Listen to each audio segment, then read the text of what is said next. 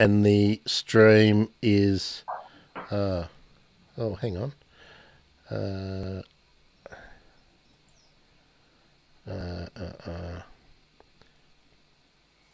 just hang on a second. Um,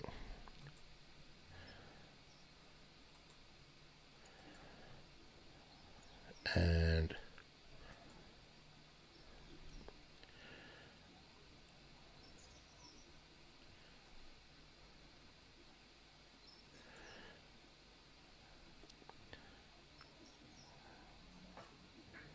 There we go. Oh, we're not up for Twitter. Let me um, let me put Twitter in as well.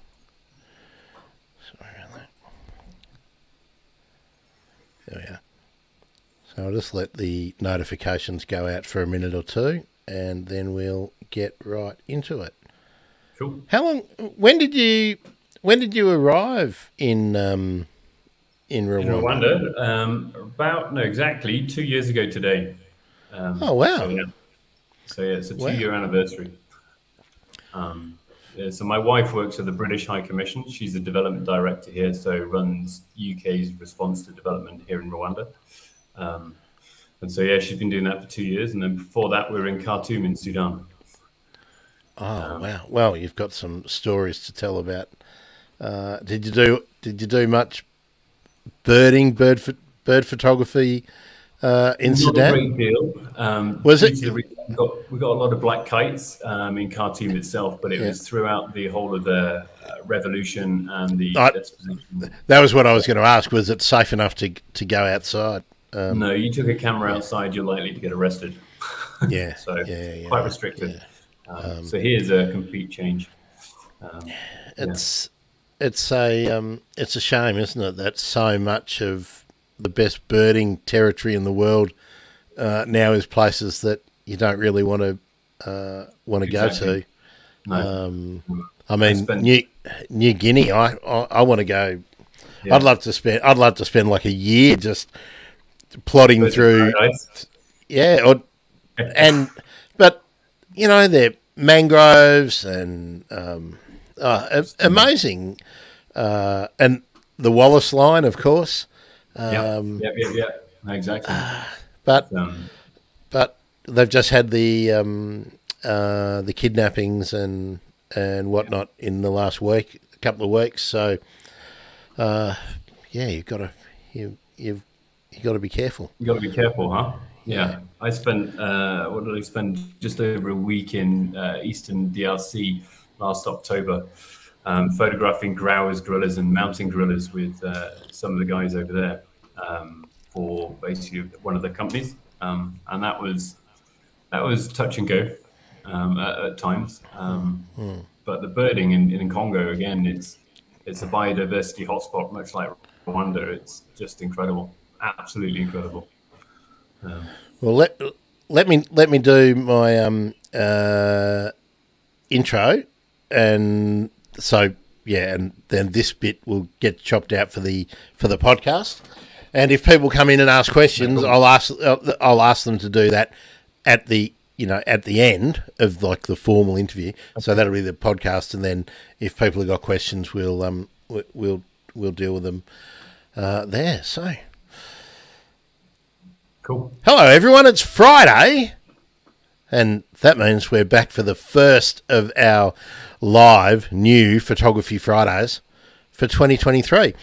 And I'm really happy to introduce Will Wilson, who, although he's got an accent that you might think is more likely to be chanting Liverpool. Actually, you you haven't got a Liverpudlian accent, Will. You'd be more likely being the uh, Wimbledon Athletic or something, wouldn't you? Is that um, anyway? Will, Will Will's an Englishman who's been in Rwanda for the last two years, uh, and has been taking amazing photos of birds and uh, I'm guessing other wildlife, and that's because he's a wildlife photographer. Imagine that. Will, welcome to the Bird Emergency on Photography Friday. Tell me, Thank tell me much. what Thanks. Thanks for having me on. tell me what's your Premier League club since I I started there. So, so to be perfectly brutal and honest, I'm not a football fan at all. Um, I like my rugby. I like my Oh, cricket. oh, I yeah, that's what I was just going to say. Don't tell me you're you're you're a rugger lad. Um, so, um, Yeah. Harlequins, Harlequins, man, is Harlequins, Bath, um, and also Wasps. So yeah. oh Wasps. Okay, now Wasps had an Australian coach, didn't they, in the last little while? That Yeah, they've had a to few, think, to be yeah. fair, and the the um, the Australian influence on UK rugby can only be a good thing, if I'm honest. Um, yeah, to be fair, Australian and South African influence, especially with current standings of uh, English rugby. Uh, So I'll just leave it there. I'm, I'm going embarrassed by talking about this. Uh, sorry. Well, well, I was just going to taunt you by saying, well, we've got the best birds as well, but you're in Africa now, so I'm not quite sure that that I can uh, confidently claim to win. I mean, ha- you didn't send me a photo of a shoe bill, but have you come across a shoe bill? So shoe bills in Rwanda are very much on the eastern side. There are some, um, but they're hard to get to. The best place to actually go, and my Rwandan friends will actually probably kick me up for this, is actually Uganda at the moment. Um, so limited stocks in Rwanda, but they are there. Is probably the best way of putting it. Are, are they a a bird that's sorry? Well, are they a bird that's declining? In do you know? Yep, 100% so. Habitat loss um, has had a key input of that and has pushed them basically um, over the border into Uganda. Uh, to be perfectly honest. Are they as terrifying uh, in, in person as they look on video? Um, I, I find I find it hard to um, be terrified of birds. I, I, I don't know. I just my jaw drops and I'm just in awe of them. To be fair, it's not. Um, it's just magnificent rather than terrifying. I put it as. I'm not. I, I'm not sure. I'd like to be, you know, up close and personal with a with a shoe bill in the same way that I don't mind if I'm up close and personal with an emu because emus are just really big chooks, right? Yeah. Um, but um, uh, I, I reckon a shoe bill has has got more Velociraptor in it than uh, uh, than than uh, Rhode Island Red. So Yep, I'm pretty much going with that too. Yeah, I'll be I'll be with you on that one. Um, a stunning bird, to be fair. A stunning bird. So, tell us briefly how you got to Rwanda, um, and did did you go there with the with the intent of, you know, really making a, a, a living photographing birds and wildlife? No, I didn't. Uh, really good question, to be fair. I spent my formative years, the first 22 from age 18 in the British Army. Um, I met my wife in Afghanistan. Uh, so she works for the British government, um, doing development um, in that sector. Uh, and I left at age 40 with a master's degree in security and set up my own consultancy business, to be fair, working and doing contract work um, abroad and at home. Um, and then my wife got the job in Khartoum in Sudan as the development director there, or de- deputy development director. So we moved to Khartoum, Sudan in 2019 um, with a, an 18 month old daughter at the time. Um, and I was then doing consultancy work, working with some of the uh, um, hotels and places like that to understand their security assessments and needs. Um, and then a revolution happened in Sudan, in Khartoum. Um, and that basically had us evacuated back to the UK. Um, my photography career has been about 15 years, but prior to coming to going to Rwanda, it was a lot, whole lot broader. So it was a lot more larger wildlife. It was uh, street photography, landscape, portraits, a lot broader. Um, and I was studying for a BA in photography at the time. And I was speaking to my professors, going, "Look, all of my peers on this course are either wedding photographers, portrait photographers. They found a niche and they've gone for it." Uh, and I said, Am I doing something wrong here? And he was like, No, you're doing everything right. You just keep doing what you're doing. And when you touch on what you enjoy, you'll find a passion, and everything you touch will turn to gold. Um, we then fast forward to two years ago today when we arrived in um, Rwanda in Kigali. Um, and birds, due to lockdown, I had spent a lot of my time in at home. um, and the birds that visited my garden. We have I, in my garden over 45 different species um, just come and visit my garden. Um, and so it kind of flicked my interest for birds. Um, and to be fair, I wanted to move past just photographing a bird perched on a branch. I wanted to try and capture the essence or the character of that bird. So for that, I needed to understand behavior. And so I started researching, reaching out to the online birding community because of COVID was great. Um, and in Rwanda here, there's a whole load of um, accessible guides, people, and a few really deep, deep experts within Rwandan birding. And to thankfully, they were very um, uh, patient with me as I got to know the birds, as I was photographing birds and going back to them and going, "Can you just help me understand this one?" Um, and so, a big shout out to the Rwandan guys in the Rwandan birding community, to be fair, for helping me with it.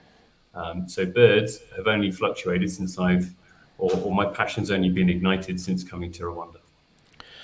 Can I ask you about that? Because this is one of those things that we sometimes struggle with. I mean, I'm a uh, I'm a white fella sitting in stolen um, Aboriginal land, right? And we're and we're having that difficult conversation in this country, which is probably a hundred years too late, um, about ownership and relationships with with the land. I mean, um, you know, I was born here. I think I'm a fifth generation Australian on both sides of my family tree now.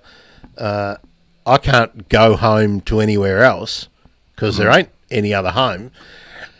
So the the point of bringing that up is often when I'm looking for people to, to talk to, Will, and I'm talking to people South America, Africa, you know, parts of Asia, and I'm wanting to speak to you know local people with the the ethnic background, uh, cultural background from that location. But in the birding community, they're very difficult to find. Uh, from here, looking out, out, as I do into the internet and into through academic papers or looking at people who are, you know, gigging photographers for one of one of another uh, yep. another term. Tell me, in East Africa, and even when you were in Sudan, is mm-hmm. birding a thing that the local community, and uh, I mean, these definitions are difficult, but um, rather than sort of the expat or the, you know, I'll, I'll, I'll, have to wear it up, the colonizer class, you know, yeah. um, is birding a thing in Rwanda? Um, maybe I'm, I'm guessing you're probably familiar a bit with, with Uganda and and um, you know that that eastern northeastern part of of Africa. Oh, you mentioned to me before too, uh, uh, Democratic Re- Republic of Congo. You've you've spent yep. time there too. Yeah. I. So your, your uh, uh, uh, a great one, and yeah. nice to see where you're coming from. Are there, and I'll, I, I think I can speak with a bit more clarity on Rwanda. And Rwanda and birds are there, there's such a close link. And what I what I find what I found here in Rwanda is actually the spectrum of people that actually enjoy going out and bird do um, and enjoy bird watching actually starts young and goes through to the old age, and that's um, linked into their culture, into Rwandan culture, into Rwandan tribal and ethnical lines as well, which is great.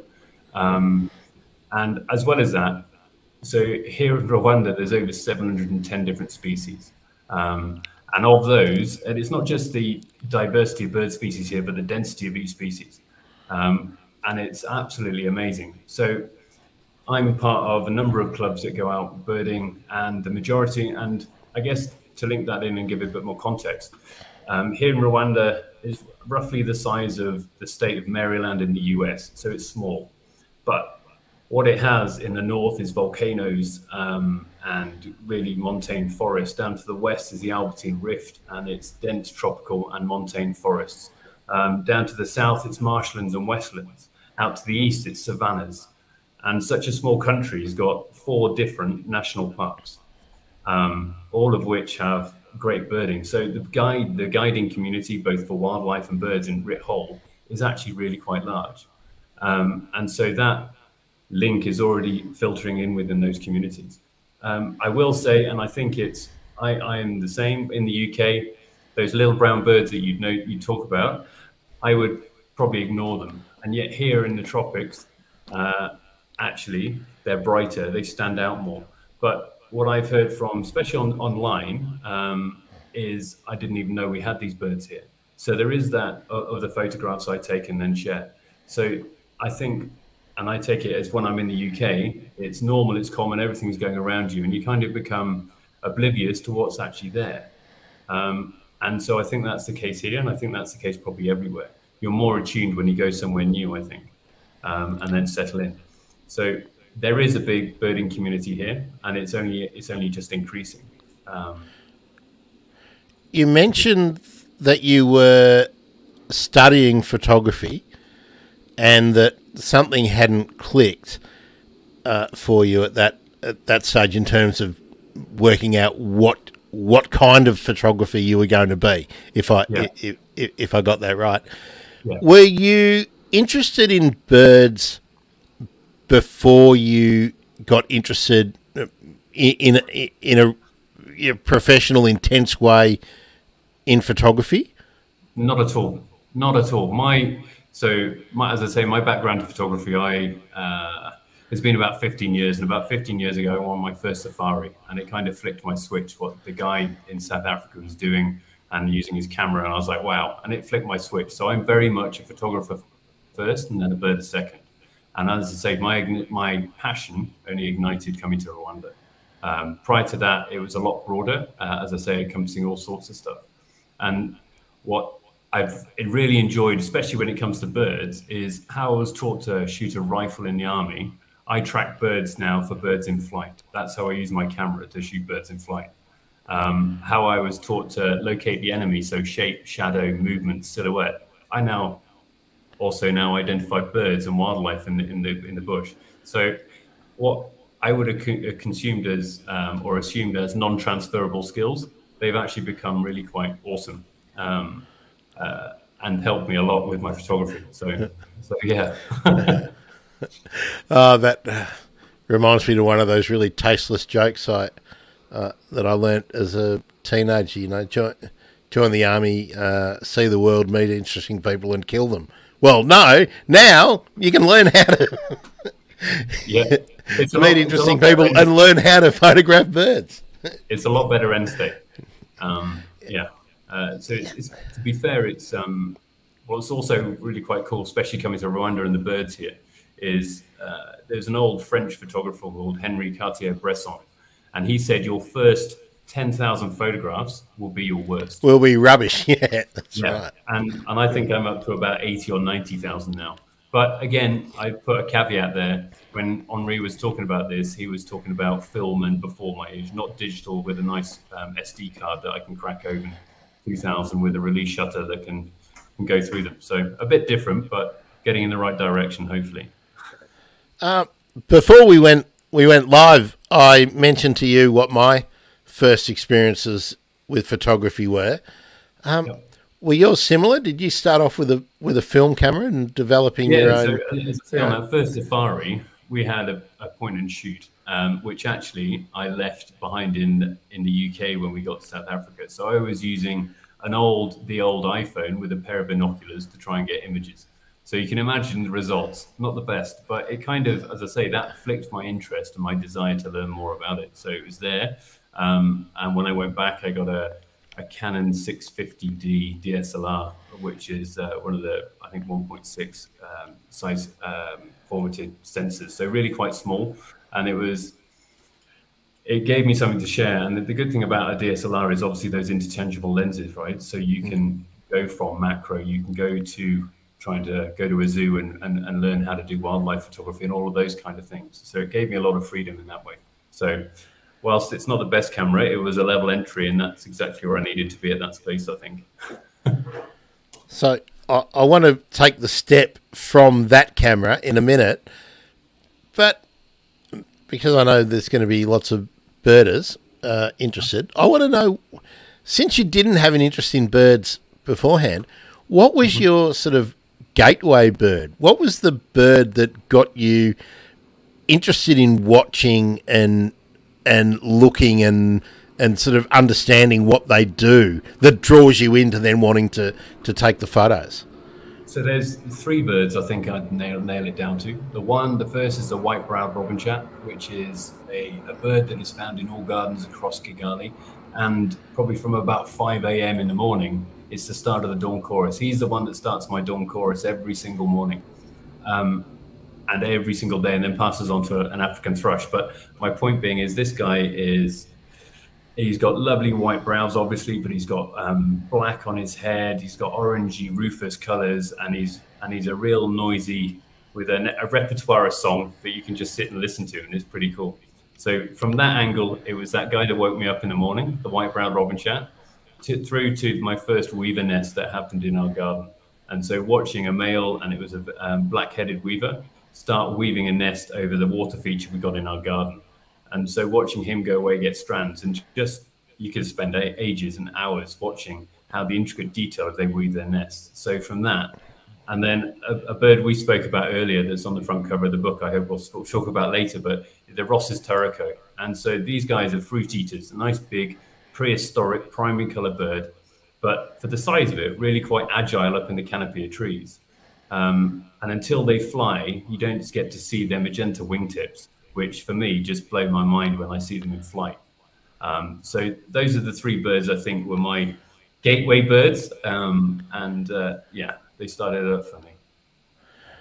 Uh, before we get into your gear, um, and I'll and I'll come back to to where where I was.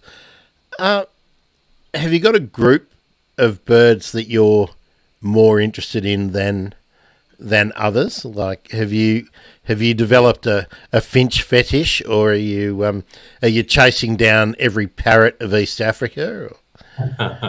um, I, to be fair, I think the key, as I think with most birders, I think there's, there's, you can split them into two. There's the one with the checklist, the one to get mm-hmm. every single bird, uh, and there's one that will quite happily sit there and watch for hours the behavior of that one species. So I yeah. think I go so it, it, to more to the right. And so it's very much a spectrum. That's how I describe it. So yeah, I'm I, I'm at the I'm happy. Uh, well, I'm not that happy if I have to sit and watch a, a domestic pigeon, a, a, feral pigeon, but I will if that's all there is, and that's what I'll I'll do. I don't keep a formal list, so I'm I'm right down that end of the spectrum. Where are you? I'm I'm with you there. I'm completely down that end of the spectrum, and I think so. I'm doing an online course with Cornell uh, University on bird biology and mm. physiology to try and understand that bird behavior. Right. So for me, I can quite happily go and watch any of the birds. And as I said here, in especially in Kigali, there's over 280 different species in Kigali. Some of those are residents, some of those are migrants. So I can go out my door in 15 minutes. I'm down by a lake and I'm watching kingfishers, I'm watching herons, egrets, I'm watching uh, bee eaters, I'm watching all sorts of stuff. So I guess I'm very, very lucky with where I am and what the my aspect of birding and how easy it is to, to go and see those birds.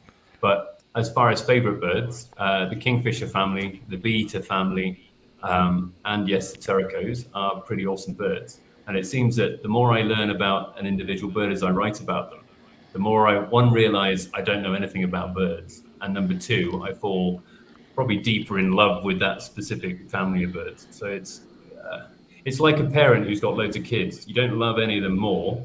You just seem to you get once you get to know them, more more of that comes in, right? Um, so yeah, that's that's probably where I put myself. But on the same spectrum as you, I think on the right hand side.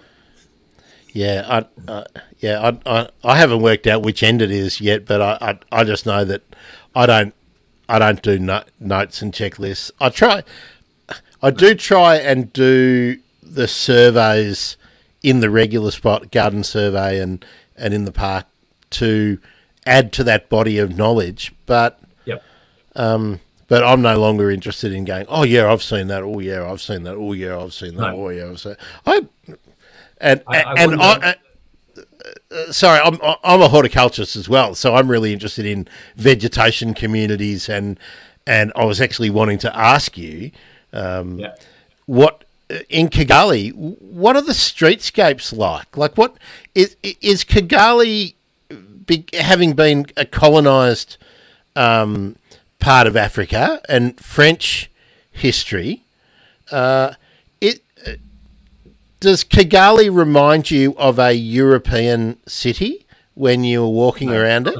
No. So where the capital, the capital moved, and Kigali was built by Rwandans for Rwandans, and okay. Kigali is the cleanest city in the whole of Africa. Um, it is absolutely stunningly clean. Um, it puts any any other country I've ever been to uh, to shame with regards to how it looks after itself, as in the city and the cleanliness. On top of that, uh, the streets are lined with acacia trees. Um, you've got flowers down the central line or the main line of the main roads. Um, and so, so like like perennial beddings, bedding, perennial bedding Correct. plants. So, so well, that that kind of reminds me of well, certainly of parts of Melbourne where we've got that kind of thing, and then you've got your your street trees fringing it. Acacias, that's that's interesting. Um, yeah. What what other so kind of plants? Old, really old acacias. Uh, Sorry. Are there uh, are there are there European stylings in the in the urban horticulture, or is it is it something completely different than uh, in terms of not not just the plant material, but just in how things are designed? Is it, or or does Kigali look like no other city? Um, Kigali, so Kigali, first of all, is built on a number of different hills, um, and so uh, surrounding those hills are all the wetlands and grasslands. So up in the actual urban areas on the on the higher ground. Um, I don't think it's like any other city. I think Kigali is pretty unique uh, with how it is and what it looks like. It's yeah. I'm my book is called "Falling for the Birds of uh, Falling for the Birds of Kigali," hyphenated both "Falling for Kigali" and the birds. Here we go. Yeah, boom. and if you can see here, oh hello, get my camera right. If you can see there here, the yep. whole "Falling yep. for" in Kigali. Um, so actually, I've fallen for both the birds here, but also the city and the the country itself. It's it's a pretty special place, um, and and that's one of the reasons. As far as the horticultural, yes, there's old trees and old acacia trees, and, and because of that and the old old vegetation, you get some of the barbets um, and what you, in theory should only find um, in national parks, actually in in Kigali city itself, um, and so the, the Rwandan government is doing actually a good piece as, with, regards to try and save those trees and save actually that vegetation and keep the local indigenous vegetation there. Um, and probably a, a, key thing to drop in here is so as Kigali's developed in the wetlands, um, previously they probably weren't looked after well. And being a tropical climate, you get a lot of rain. When it's raining, a lot of rain comes down. And so the risk of flooding, um, especially when those wetlands haven't been looked after, um, increases massively. And so over the last couple of years, they've actually run a pilot project to re restore the wetland environment in one of the wetlands. Um, and to see, I was involved in actually understanding the baseline of birds once the restoration had been done, and actually seeing the bird species coming back. Um, and so that link of Kigali and understanding, it's, yeah, the green and um, the environment place heavily within Kigali's strategy of understanding how they're actually going to develop, which is pretty special, I think. Um, from from your point of view, being there, you know, two years, um, is is the Kigali, you know, is is it a local council or is it a uh, like a, a province that runs the the city? Well, I don't really need to go into that, but but but it, it, it, are you confident, having seen the way some places have been totally stuffed up in in other parts of the world?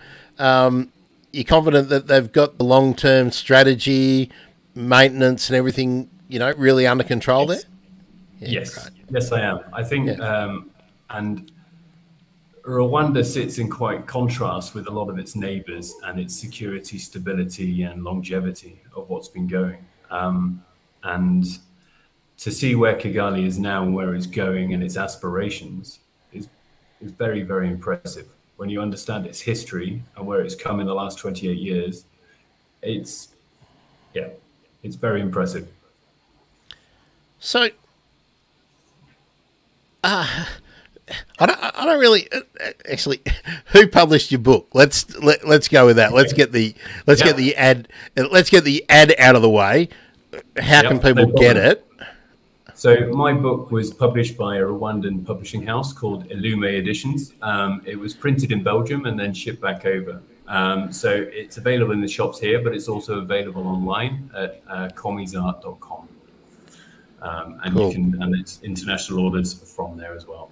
So it's it was my first foray into book writing, just as um, or to put a book together. Um, and I note in one of your questions is talking about um, basically when I go out, do I go for a specific species? And I think probably because of my layman um, and only two years into it within birding, actually, um, I don't go out and look for and I try and identify individual birds. It's more to try and get beautiful photographs of the birds that are there. Um, that will change as I go forward in, in my next job, but the book is 256 pages, 130 different species covered um, but also talks about conservation and restoration um, here in Kigali itself. Are you seeing a question that I'm not? Uh, uh, uh one not popped getting? up and it's now gone. Oh, uh, uh this one, oh, where where where Martin was asking what what kind of habitat is it there now? Yeah, no problem. So, Martin, Chris, sorry, we'll we'll mention that there are what four national parks, and that and that you, there's different habitat types for each one. So you you better do a rerun of that uh, of that bit about dividing so, up Rwanda. Yeah, no problem at all. The north of the country is uh, dominated by volcanoes, and uh, uh um, and uh, with there's also tropical forests that move through. Uh, and so in the north, there's a lot of high altitude, and there's montane forests. Um, in the west of the country, the Albertine Rift is, is nice montane forest again. So it's nice thick jungly type forest that goes down the western side. In the south, you're looking at marshes, wetlands, um, and yeah, marshes and wetlands are basically what, what dominate down there. And then as you skirt, skirt east, it opens out into awesome savanna with a number of lakes. Um, and that's kind of that's kind of what sits in it. And it's or Rwanda is known as the land of the thousand hills, and when you actually drive around the place, it's it's pretty stunning. It reminds me of a kaleidoscope. As each corner you turn, that kaleidoscope changes and the landscape changes. You into tea plantations, um, up into the volcanoes, down into forests, or open into savannas. It, yeah, it's very it's picturesque. It's stunning, to be fair. Um, but yeah, so those are different, uh, and it's landlocked. It's not coastal but there are a number of large lakes that allow you to have beaches. Landlinked, course. probably landlocked is probably a nicer way to yeah. Yeah. Uh, so of course we, uh, um, no worries, Martin. Um, we invite you to uh, put a question, uh, make a comment if if you like. Let's get into gear a little bit. Um, now I, I, I left off mm. where I wanted to come back to. You told us about your first camera. What did you What did you move to? What yep. did you graduate to? So I went from the Canon 650D to a second-hand 1DX Mark III. So huge for a full-frame sensor at professional size, increased shutter speeds, um, and allows me to shoot a lot uh, with a lot higher ISO. And also, I've I came or, or, started with that camera to link onto using full auto, but using, uh, sorry, full manual, but then using auto ISO as well. And that for wildlife and bird photography is my go-to setting when I go out because um, it allows me to react. Obviously, with birds and wildlife, you've got a fleeting moment to necessarily catch that shot, and that kind of gives me a good a good start point. So it was a 1DX Mark uh, III, and then on top of that, I had a an f4 400 millimeter lens uh, and I used teleconverters to increase my focal length as and when I could. So that was the kind of escalation from the 650. So, what were you um, taking taking photos of at that stage of your uh, f- photography journey?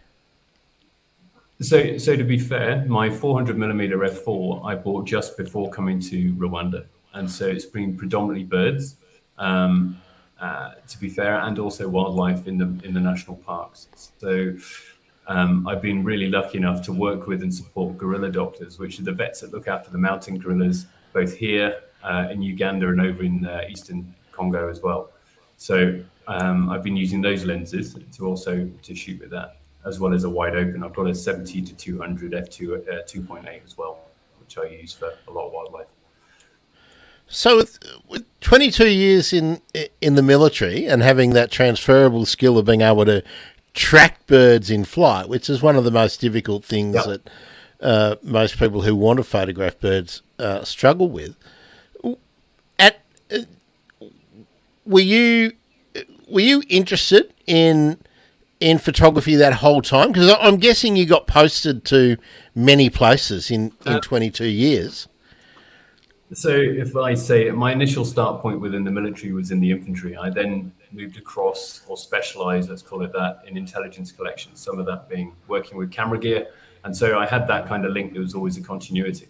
And to be brutally honest, when I left the military after 22 years, it was a toss up between starting my own consultancy firm or being a professional photographer. And at that stage, I went down the consultancy line simply because photography was my passion. I didn't want to become I needed to rely on it for work, and then that passion or, or would, would fizzle out somewhat. Yeah. So that's kind of where it came from. So you you've told me your your two cameras that you're using now are the Canon R3 and R5. Yeah. which one did you get first? Like, which one did you get first? And like, was it was it a hard decision for you what to, what to purchase? I, I, think I was a late. Um, I think I was quite late getting to the mirrorless game, to be honest. Um, and I, the technology both within the mirrorless lenses, as far as the auto tracking and the eye eye recognition of animals to allow you to actually lock onto an eye, which is pretty impressive stuff. But on flip side of that, image stabilization that's not just in the lens, but also in camera body. In the body. So use mirrorless yeah. lenses with the body. That double image stabilization is just absolutely mind blowing. So, and I was seeing my, I, I guess, seeing, seeing peers who are photographing birds going, wow, okay, what, how has that happened? What, I'm speaking to them. I just try, I came across the mirrorless. Um, and it's, so I was like, okay. So I saved up and uh, I got the R5 and I had to wait four months for the R5 to arrive and eight months for the R3 to arrive after that. And so I bought them at the Canon UK and then flew back, had my had a Christmas, collected all my stuff, and then came back with the family. And it was yeah, that was my Christmas present, birthday present, and everything for the first few years because it came with. Um, I, I, also then got the 100 to 500 uh, mirrorless lens that goes with it, and that links onto my R3, and those two working together Oh no. Oh no, we've got. I don't know whether that's my internet or your internet. Someone will tell us. Uh, before we started, folks, um, I made a joke about how bad our internet is, and Will uh, pointed out that it's not much better in uh, in Rwanda. So hopefully, uh, it. I I hope that Will will be back, or I don't know whether I've whether I'm missing. Uh, so, someone in the in the in the audience, Riot Squad, help help us out. Are you hearing me, or are you not hearing me? Are you are you still hearing Will? Um, no, Will's uh, Will's gone. So I guess uh, there we are. Transcontinental Okay, thanks, thanks, Naomi. Yeah, it, it must be Will's issue. Hopefully, he'll be able to come back in. Um, while we while we wait, I'm going to show you. Um, I don't know if you remembered. Ah, here we go. Will, uh, there we are. That's okay, mate. It's, I was I was just just telling uh, uh, telling the audience that um, we were discussing our internet issues in both countries. So uh, Yep, yep, yep, definitely. I'm ge- I'm guessing that what that's what you had, maybe a power fluctuation or something like that. Um, to be honest, everything went blank and the blue circle of death started rotating in the center of my screen. So I was like, ah, okay. So I tried refreshing and we're back.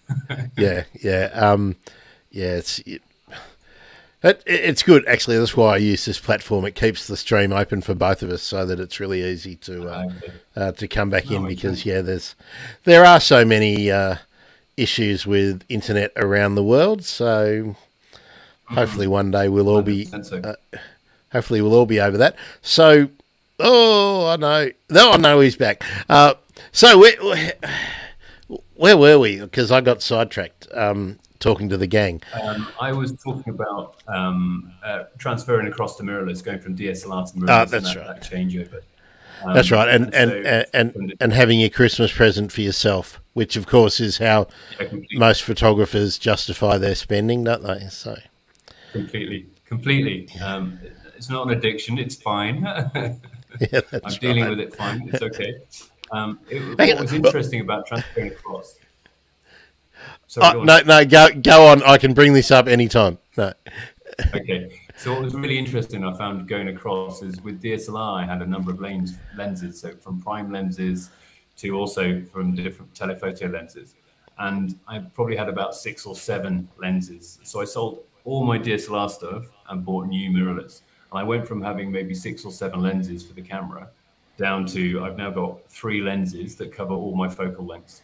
Um, and it's I think it's a really interesting question is looking at wildlife photographers and bird photographers used to um, only go for big prime lenses because of the lift it would give you, but also the standard of those lenses and the glass you're getting. And I think with the, uh, the the advent of mirrorless and how that's actually evolved, I think that question or that argument might come to get revisited. So having a telephoto lens gives you so much, in my view, gives you so much more flexibility granted there's the issue with the aperture but i think with technology that's come uh, or the, how wide open you can have it in low light uh, and therefore the speed of your shutter um, but i would argue that and now with mirrorless stuff actually that argument probably or that conversation could be revisited so as i say my workhorse is a 100 to 500 um, zoom um, and I've got then a 600 millimeter, which comes sometimes on a gimbal head on a on a monopod. But if you're trepping around grassland marshes and the rest of it, that's not exactly the most lightest or easiest thing to take with you. And so, I, I would argue that actually the 100 to 500 allows me to do a whole lot more. Um, do you do you ever just think, oh, so heavy? hate this bloody thing. It's so heavy. Um, I do, but I'm, and, and I think because it's uh, the new lenses, so the mirrorless lenses are actually a whole lot lighter as well. So the mir- bodies are lighter, the lenses are lighter. So you pick up these lenses, the, the mirrorless stuff, and you're like, wow, okay. You then go for the old EF stuff or the DSLR lenses, and it's yeah, it's it's a bit of a heft. So yeah, t- walking around with that and taking it around, it does take a toll. But the images you get still can't be the the reach I think you get um, and the clarity are great, but I, I'd still go because of the where I can do or what I can do with the 100 to 500 with the mirrorless. I'm that's still my go-to. Um, Do you I think that. Sorry. do you do you ever have discussions with other um, folk about the quality of glass and that the older lenses with adapters are better, so glass was better? Do you, I mean, do you, do you ever get sucked into any of those conversations? I try not to, but I'm probably getting after this. I might be involved in some. Um, so, if I'm 100% honest, but I think I think we need to. My my personal view is you need to evolve with the technology. Gone are the days um, when you could only shoot with your ISO up to about 800. Otherwise, the noise would absolutely crucify the image that you actually had at the end of it. Gone are those days because of software that you can now run those images through. To be able to get usable images and all of that, is making use of the technology we have and being able to advance with it. Is the standard of glass better? Um, I'll hold my judgment until I see some of the mirrorless large prime lenses come out by Canon and make my own decision there. Um, The- yes, they're awesome sculpting lenses. Uh, a lot of these conversations I, I tend to think are, are moot sometimes because unless you see the image on uh, like on a really high quality um, paper in in a really well produced book, um, most people are watching uh, are looking at them on computer screens at you know seventy two DPI. So, so a lot of the conversations about um, the sharpness and everything are really lost. But some people will talk about the honesty of the shot and that cleaning things up, you know, digitally when you've got noise, when you have pushed your ISO And past so 800. I think I think there's yeah, I, I think there's um so Yeah, yeah, I think I think I, I'm a big I'm still a believer. You can you can hear me but not see me. Okay, I'll continue. No, I'm, no, no, no, we- uh, of uh, I like natural look. Am no, go, go on, go on. You're, you're, you're here. There's just a little lag, that's all. Uh, okay, so I in keeping your images natural, so I won't remove stuff from my images apart from digital noise. I won't add different backgrounds. I won't cut a subject out. That don't get me wrong, that's a type of photography, or and you enjoy that. That's great. It's just not my style. I, I like a natural Yeah. feel. You know, I won't remove noise because noise reduces the element of that photograph for me. So I will reduce, no, uh, take out noise, um, and actually I will I'll put stuff through sharpen if and when I need to. So so I embrace technology, but I don't go overboard and start placing myself next to I don't know turacos in, in the middle of my garden, Oh. that kind of thing. That's Yeah, my kind of idea.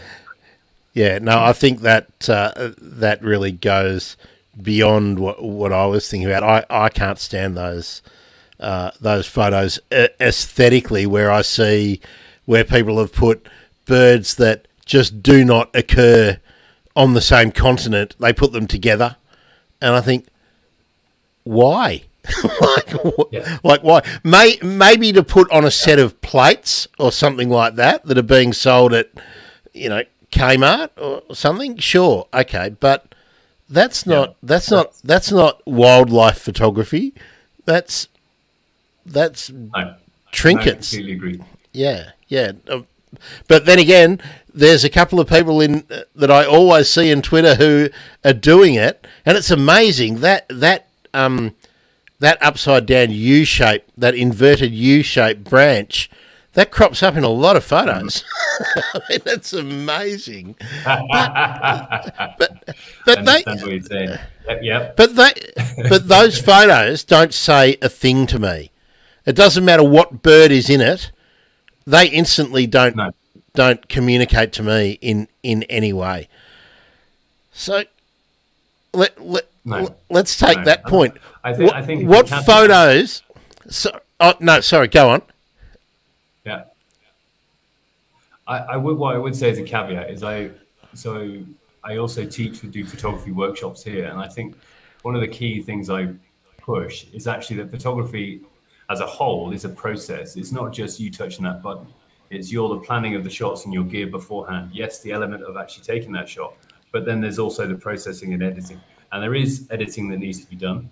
Um, and and and that whole workflow I think is pretty key within. But as I say, you don't start turning your birds, inverting them, and, and doing the rest of them, or changing the color, or all the rest of it. Uh, no, not for me anyway. It's not my idea. or or or if if you want to use a bird, you know, maybe you've taken a fantastic shot of a hornbill, and you and and you're also doing, you know, side projects where someone wants you to do some album art, album art. Sure, go to town, but it, but Yeah. but you know, it's not Yes. it, it it it it's it's not the the the frontispiece of your wildlife of Rwanda uh, book. That's No, uh, not at all. No, I'm I'm well on. I'm completely on side with you here, Ron. so. th th there's two things I want to talk about before we go back to back to your gear, like the intricacies of your gear. Um, gear acqu- acquisition syndrome. Are you a sufferer? I'd love to say no, um, but I think I, I, think I am right. But I think the um, gap and the air gap, literally both continental and uh, uh, yeah, continental between me and my the market I buy from, actually has reduced my um, need or, or, desires. So um, yes, I, I, look at Envy uh, or on uh, YouTube videos and, and what's coming through from Canon next and all the rest of it. But I think I'm actually quite happy with the setup I've got at the moment. And as I say, that's probably because I'm here in Rwanda and not back in the UK next to the shop. So, uh, yeah, yes, I am. so, so, so, it, so if you had at the end of your street uh, the, the, the greatest camera shop in East Africa, you you'd you'd be you'd be updating annually. Every time there's a new model, uh, you, you you'd be on it. No, see, this is so with the lenses is probably where I am. I'm more with the glass and the actual camera bodies, and I say that at the moment with the R3 because it's even though it's not the flagship of Canon's mirrorless range, and that's still to come with the R1. Um, I, I I'll struggle to find a camera that's better than that. Now, I as as you've noted, my first camera was a Canon. I've always been Canon, so it's it's much like Apple and Android, right? You stick with one and you've been with one, and you don't want to go across to another and I think I've got some of that within it. And that's what's been interesting is doing workshops for clients who then bring a Nikon, bring a Pentax, bring this, and you're like, ah, it's the same, but the operating system that you've got to get used to. So I always have them uh, instruction manual come through to me first, so I can actually understand their camera system and the buttons that work. Mm. Um, so yes, I would be knocking on that shop, or at least going and having a look, window shopping at least. Uh, are you are you somebody who watches a lot of other people on YouTube? Like, do you follow other wildlife photographers, bird photographers from around the world, and mm. and see what they're doing on YouTube, or are you uh, are you a yeah, uh, uh yeah, are you a consumer of photography books?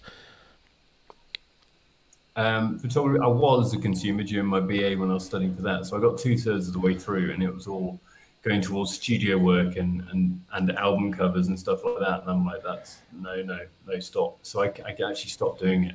And during that whole process, and yes, I was, I was a consumer of photography books, understanding the history, and, and it was really quite um, insightful.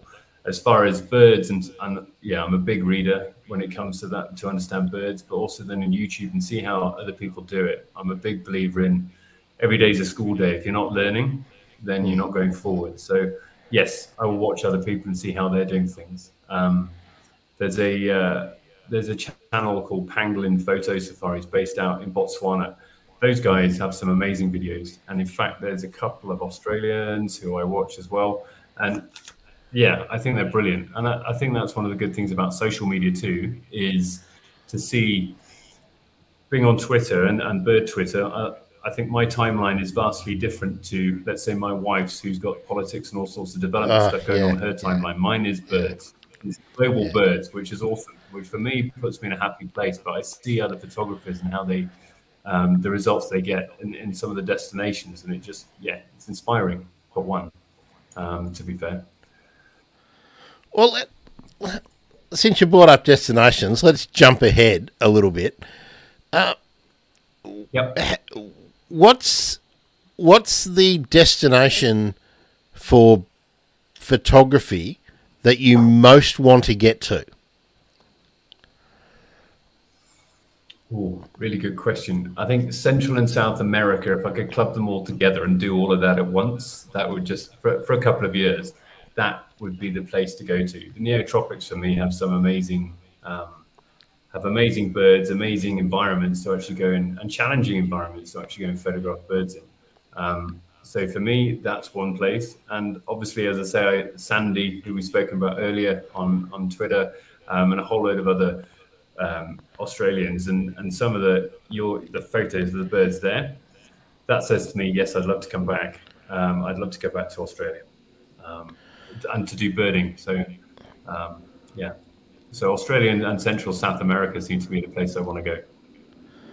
And like continents are very big, so uh, I'm, I'm often uh, just chuckling, chuckling to myself when when people mention, "Yes, I'm, I, I've got I've got a three week trip planned to see the birds of Australia," and I'm thinking, Ooh, "Okay, um, okay, getting across um, Australia."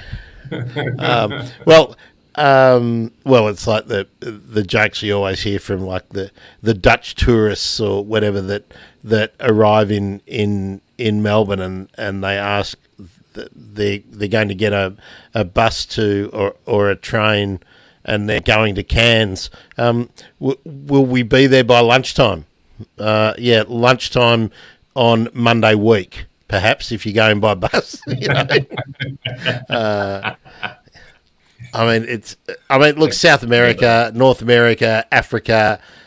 You know, birding in China. I mean, they're just so big. So you've got to yeah. you've got to look at regions, or you've got to look at habitats, don't you? So, so let yes. let's ask: Have you got a favourite environment slash habitat that you really enjoy working in? So two I'd put down. One is the wetland marshy area. Um, one because there's there's so much of it very close to me, and I can I can spend a day quite happily tropping around in, up to my waist in water, and the, the sound, the song, and that habitat is just great. And as long as you're nice and quiet, then you get to see some amazing bird life. Uh, and the second one is savannas. The national park here in out to the east of the country, Akagera, is for birding. If yeah, it's it's stunning. From and what makes it, I guess, what makes it unique is you've got all these mountains and ridge lines down to lakes, which bring obviously all the water birds. But then you've got open savannas, so the rollers and the larks, and it's just yeah, the bustards. It's it's just all there for you to go and see. So, and I like what I like about savanna areas is it's the the vastness of it. So you can actually stop and look, and and it's just all around you and that's pretty cool. And that's contrasted to the wetlands and the marshes where everything's nice and close and up personal. Um, so in Rwanda, those two, um, I say that the, the vast majority, so 26 of the endemic species found in the Albertine Rift are all in the, in the west of the country in a, in a national park called Nyungwe. Um, which is all Albertine, uh, the Albertine Rift, and so it's all uh, montane forest, which is absolutely stunning stuff. So you probably wanted one, and I've given you three. So apologies about that, Grant. no, that that that's fine. You can you, look. You can tell us anything you like. um, we're going to jump into some of the photos you you sent uh, sent for me to talk about. Um, but let's just see. Naomi Naomi's got a comment here. Um, so Naomi met some chaps from Rio. They went birding with Naomi. Now, Naomi is in the Sydney area, um, Will, so you can place her. I'm down in the Melbourne area, so, you know, we're only about 900 Ks apart. Um, so a lot of people are stunned by that. And Melbourne and Sydney are quite close by in, in relative terms in Australia. Yeah. Um, so, yeah, they went birding with Naomi and asked how long it would take to get to Broome. Yeah. Okay. Now, now you know where Broome is, don't you? From uh, so right on the other side of the of the continent. Um, Naomi, if you weren't flying, I reckon for me to get to Broome from Melbourne, if I wasn't flying, and I don't have a vehicle, so I go by buses or trains or hitchhiking or whatever. I don't reckon I'd get to Broome within 10 days from my place. Wow. Um, I could do it faster, but I, I don't want to sit for three days do, and do nothing else other than. Well, actually, I don't think I could do it in three days to get from Melbourne to Broome. Um, yeah. Oh, here we go. They were in a combi. And of course, you. It, did you know? Do you know that song um, "Down Under"? Um, Will, was that a Men at Work? Was that a hit in the UK or anywhere that you were oh. soldiering?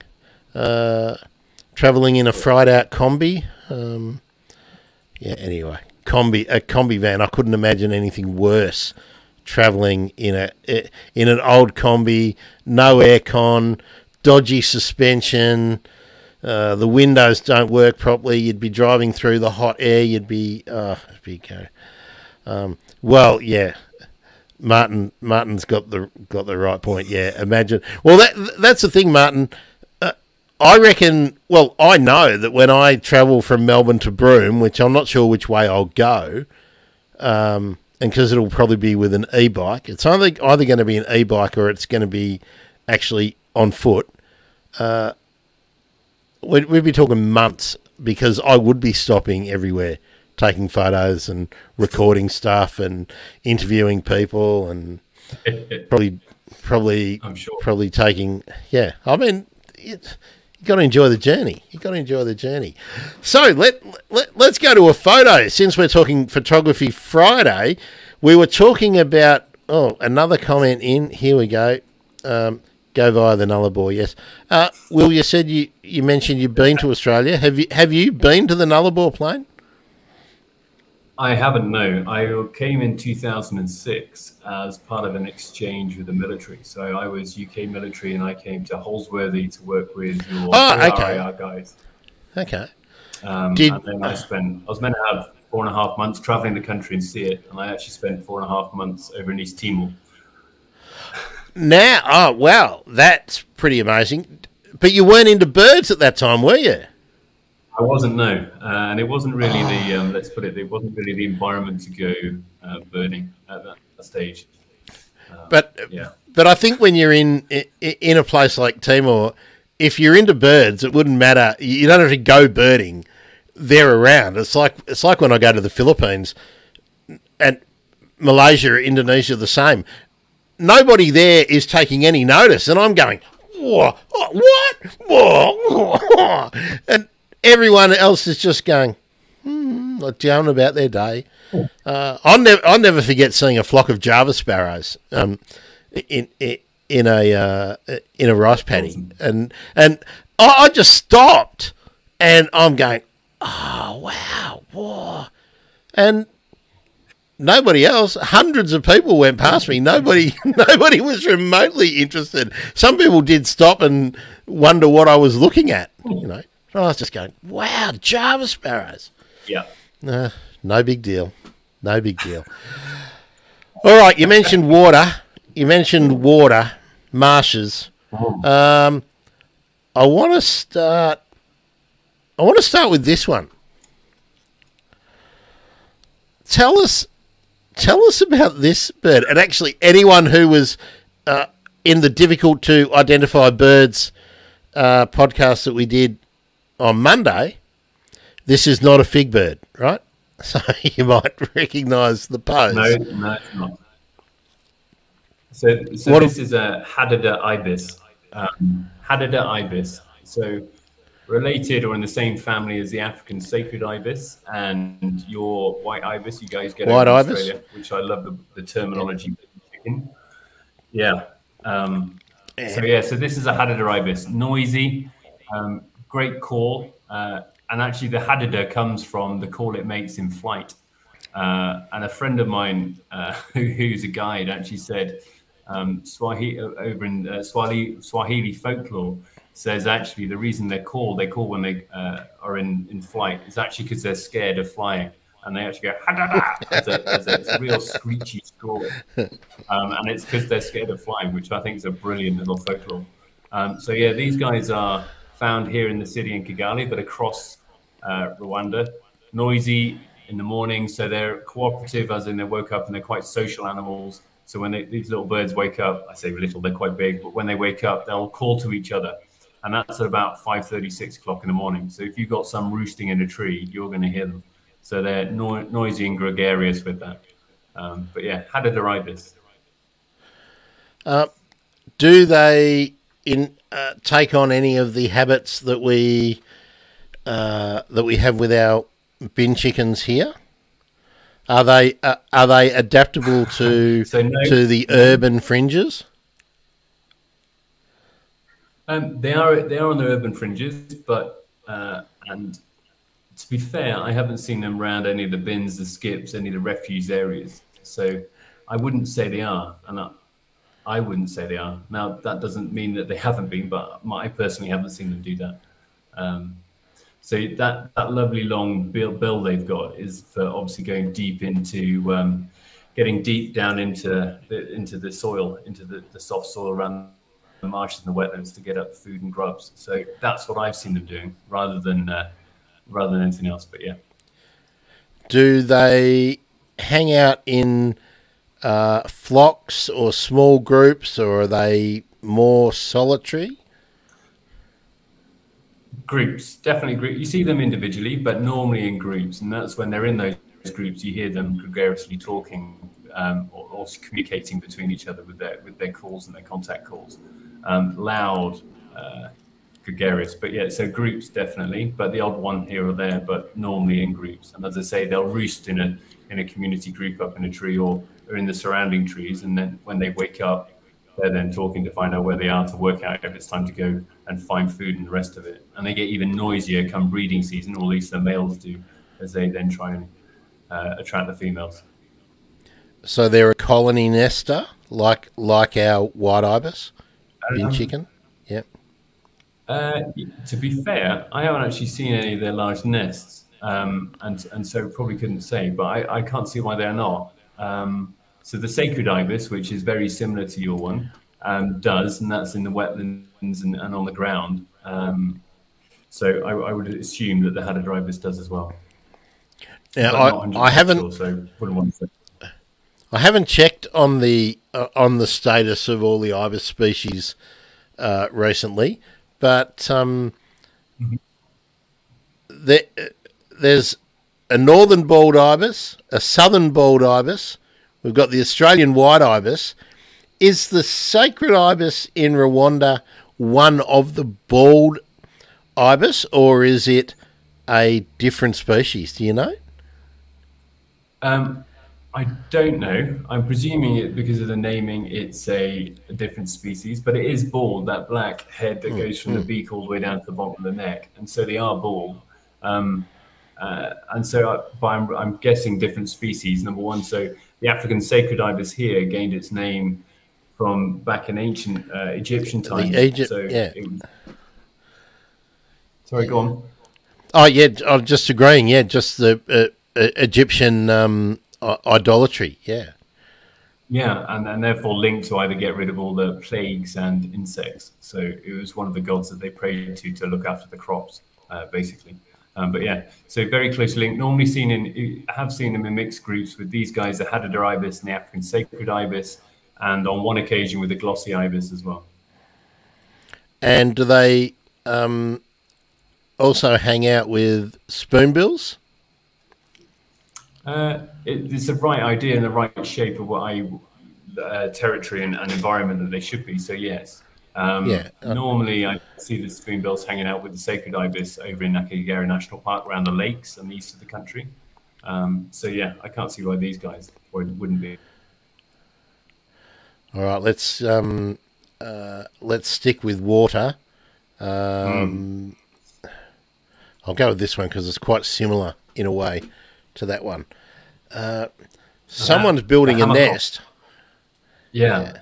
So these these guys are called the hamerkop. Um, and as a bird, they're they're a shorebird. They'll eat, they'll take frogs and the rest of it. But what what stands these guys out is their nest, and and that's kind of one of the reasons I put the, I wanted to share this one. So these hamerkops build the largest nest of any two birds in the world, or at least in Africa, I think the world, any two birds. And so their pair bond when they start building it can be up to um, six foot high and six foot wide big big dome shape on in the fork of a tree a large tree. And so their pair bond when they do then come, come together is actually maintained and strengthened when they start building it. And it'll take up to about 12 weeks to build this nest. Um, and even once they've finished and they've actually laid the, they've laid the eggs they'll continue to put more twigs bits on there. And if it's in an urban environment then it, let's say it's in a garden, for example, kids' toys have also been picked up and put yeah. in as decoration afterwards. So th- these birds for me are just absolutely stunning. Their incubation chain is so inside it is a tiered system. So there's three different levels inside the nests, which I think is just awesome. Um, and again, these guys, their calls are pretty cool. And because, as I said, Kigali is built um, on hills and around in the wetlands and the marshes around them. So you get them; they're able to go down to these marshes and feed, and then actually build in the safer locations in the gardens. Um, and once they're used, other birds use them, as well as snakes and owls and weaver birds and all sorts of stuff will come and build their nests with them. Um, and so these guys will then move on and build another one. I've seen this one uh, one hamerkop nest right on the side of the main road in Kigali itself. So that's it's pretty awesome. Now, I can't I can't tell, and I deliberately didn't look look up any of the birds today. Mm-hmm. Now, is it? Do you know? Is it a in the heron egret family, or is it in the stork family, or is it totally on its own? It's on its own. It's very on its own, and I I, I want to look it up now, and I can't, uh, so I won't. I think it's the nearest one is to actually a pelican, and that's the nearest okay. one is to, and it's it's very on its own. Yeah, well, it, yeah, it does look reminiscent of a of a pelican. It, it, what I thought might be stalkish about it, building that massive nest platform, but then with different chambers, that's a little bit like you know the behaviour of like our malleefowl and uh, and uh, brush turkeys and and weavers, and if it's collecting child's toys, it's a bowerbird as well. Pretty amazing, amazing creature.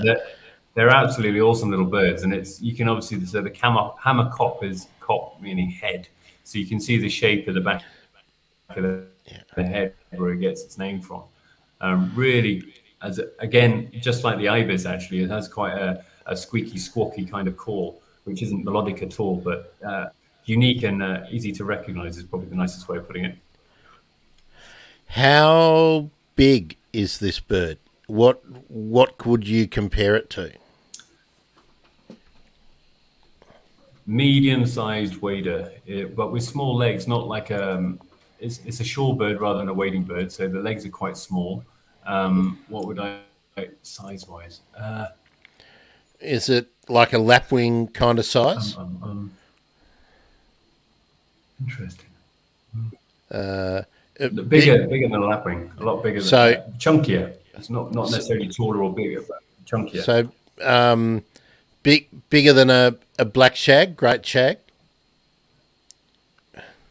Uh, Different shape, obviously. I, I want to go the same sort of size body. Yeah, yeah. I'd say body size, maybe like a maybe either a little egret or a cattle egret, that kind of that okay. kind of shape and size. Cat, cattle egret size. Okay. Yep.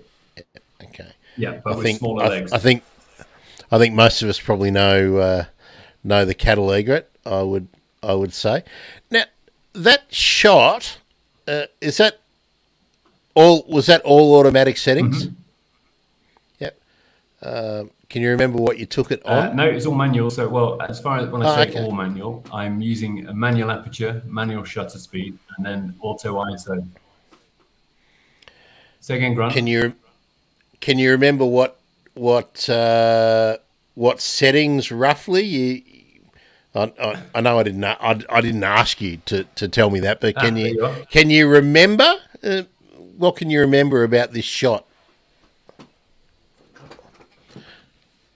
Uh, so this shot will have been used uh, the 70 to 200. Um, so that's an f.2.8. So it would have been about uh, f4 5.6 um, is where it had gone for. And shutter speed is a minimum one two thousandth of a second for a bird in flight, and that's quite, um, as I say, medium-sized bird. So that that hit quite well, and it was quite close. Mm. So this was actually in a friend's garden in the middle of Kigali at about seven o'clock in the morning. Um, oh, and wow. so ISO would have been pumped quite high, uh, maybe at about maybe at about 1600 to 2000 ISO because okay. it's coming out of the shadows into the light. Um, yeah. But yeah. Yeah. Very, very, very good. Um, okay, let's go with that one the pied kingfisher. Where was this? So this uh, was taken at um, a golf course or photographed at a golf course uh, with a whole load of water features. what I love about this guy, so this is a male. If you look at the throat, you can see a black band on his throat, and just below there's a lighter, small black band. So that's meaning two black bands across the throat or, or the chest, and that tells you that it's the male. The female only has the single darker one that's not normally joined in the middle at the top. So this is a male and is diving for its dinner. Um, the good thing about these guys is number one, they're the largest bird in the world to hover using wing power alone, so not using wind assisted or, or thermals or anything like that. And so, actually, what that does is allows a normal kingfisher will use the sides of the bank, um, the grass, the reeds to perch on or a branch. So, and so it has the edges of the river as a hunting area as such. Whereas these guys, because they can do that hover, they're, they, they extend their area that they can actually hunt in. So they've got the whole of the water feature. So that's what makes them quite cool. Um, coupled with, I love the fact that they're pied in black and white because it just shows that you don't have to have brightly colored, awesome birds to make them look stunning. These guys are exactly that. The patterning and, and the coloration is just awesome. Um, but this shot was done for um, part of a group of shots I took for uh, a commission um, for someone who wanted actually the kingfisher coming back out. So I had to track them going down and then from the hover take it going into the water and then and then actually coming back out. So that's what this guy is. Uh, do you have many species of kingfisher in Kigali? Uh, in Kigali, we've got five different ones. So we've got this guy is the pied kingfisher. We've then got the malachite kingfisher, which is a lot smaller, um, maybe about 11 centimeters in length totally um, dropping down to the African pygmy kingfisher, which looks very similar to the malachite kingfisher, but it's got like a lilac wash on its on its cheeks. Um, then going the other way, uh, you've got the woodland kingfisher, so it's a non-aquatic uh, kingfisher, loves the woods, obviously. And you watch it, watching it hunt the woodland kingfisher, which is pretty awesome. They love to have overhanging branches into the long grass. So just as you'd see an aquatic kingfisher diving into the water, these guys dive into the long grass like that.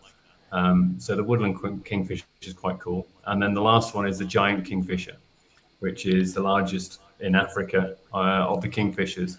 And that's that speckled black and white speckle you see on the back of the king, uh, the pied, is similar, but the other way around. It's dominated by the black, but with white speckles. Um, a stunning with a stunning rufous uh, bib on its chest and neck. Um, but yeah, so those and, are fine. And, it, and and is that a a aquatic kingfisher? Like, uh, is that? Um, yeah. Yeah. Okay. So, so the, the kingfisher, the malachite, and the pied kingfisher are the three aquatic, and then the yeah. African pygmy and the woodland are non-aquatic. So I think the African pygmy is is quite similar to our. Um, in in terms of the niche that it's in is like our sacred and forest kingfisher and and the woodland is is Africa's kookaburra, really. Uh, same kind Sounds of like it. Yeah, um, same kind of thing. Guys, yeah. One of the guys who was uh, a guy called Rob, who I follow on Twitter, an Australian, and his some of his king your, his kookaburra stuff that he's got in his yard and, and the kingfishers you guys have are just wow. Yeah, they're stunning, absolutely stunning. Yeah, we do have uh, we do have very cool kingfishers. Um, the tropical ones, you know, I, I haven't really seen any of the far north Queensland ones, but they're amazing, amazing birds. Ah, especially with the big yellow or big red bills. I love, I love those um, Asian, the Asian ones especially. Yeah. All right. Sorry. Some of the, the, dwarf, the Asian dwarf, the Oriental one, the dwarf ones. Uh, are just stunning. Beautiful little creatures, such brightly coloured and um, I don't know, tiny. yeah. Uh, well, like our our little kingfisher is tiny, and then the azure kingfisher is pretty small as well. Uh, and yeah, um, I I saw one in uh, in Malaysia. I've got no idea what it was because I didn't get a good enough look at it, but it was it was a, a, just a pocket rocket as well. Uh, fast, really fast, but just a fleeting glimpse. Okay, let's uh, let's have a look at the uh, Jacana. Uh, which one would you like? Let's go for the let's go for this one first. I li- I really like Yeah. this pick. This one Only was, um, one, only one. Jacana, Only one. only one Jacana in uh, in the area. There's African and there's lesser as well. So there's two. Um, what I what I love about these uh, these birds is um, number one, those toes. I think are just awesome. The Yeah, long toes, and that obviously. So they're also known as the Jesus bird because obviously they walk along the lily pads and as if they're almost walking on water. So they're sometimes called the uh, the Jesus bird. Um, and so and, and the lil- lily trotter as well. So if other people Yeah, might know I them like as it. lily trotter, Yeah. Okay, so these guys um, are down in the local wetland, maybe about 25 minutes, um, 25 minutes from the house, a, a wetland called Masaka Wetland, which has got the lily pads which they prefer. Um, and these guys are using the, well, as you can see here, using the toes as a drag as he's coming down. What's out of shot to the right of the screen is a lily pad that he's coming into land on, or she's coming into land on, to be fair. Um, and so that's what I'm trying to do here. But you'll notice it's actually really quite white and there's no horizon line. And that's largely because of the perspective I took the shot from, but also white due to the fact that really, really overcast day. And so when I increase the exposure, I get rid of the gray and it goes white. And actually, it brings a lot more of the detail, I think, into the bird itself. Yeah, especially uh, getting the the yellow tones uh, and the, the the buff tones on on the bird. Um, so dragging its toes is mechanical brakes. Yep. Yep. Usually you can see the flaring wings and then they drag their toes as they're coming Yeah, in just yeah. before they land. Yeah. That what these guys are quite um, different with regards to their their breeding behavior or their breeding patterns than a lot of the birds. So this with this one the the male will choose the female, the female lays the eggs, and then it's the male that will incubate and raise and look after the, the chicks. And when you see, um, I think you can see it, there's a number of them online. I'm yet to photograph them, this uh, behavior. So when they have about two or three chicks and they want to then move, the male will calls and the chicks come underneath either side of them. And there's like kind of uh, uh, under the wings, you can hold them. He can hold them, and so all you see is those little feet hanging out under his wings. Hanging out the bottom. around. Really quite stunning birds. Yeah, they. Um, yeah, the African Yeah, jacana is a, is a cracker. and of course, we've got another another one. yeah, Just the composition of that is just great, isn't it? it, yeah. yeah I, it's again early mornings, flat water, and you can you can get some really nice shots. Um, but this is the grey that I'm talking about, so I haven't increased a lot of the exposure with the background there, and I've kept it the same. I think actually it works a lot better um, with this one, at least anyway, to, to get those tones out. But yeah, I think it's you're right. It's the um, perspective and the composition. It's uh, Yeah. it's a, they're, they're cracking birds. Uh, have you got this one on your wall at home? Um, I do, yeah, I have. Oh, Uh, yeah, in, my, that- in my wife's office, actually. Yeah, that would be that would be one out of all of those that I I, I would have picked to, to display at home. Um, so you're getting a, a, a comment there from Martin. Very very good. Um, now what uh, what did we go to? Have I have we got more water ones? Let me just let me just check. Um, no, well, I, I teased I teased this with a few people. So we're moving sort of away from water. We're going to water's edge or or um, uh, Yep. found in found on in, in the savannah as well, isn't it? This one, uh, Will, yes, it is. The, It's, it's found on the savannah, the wetlands, and it's uh, the national bird of Uganda. Um, this this one here was taken actually at a crane sanctuary um, just outside of Kigali, um, and so it's, it's a really quite it's the grey crown crane.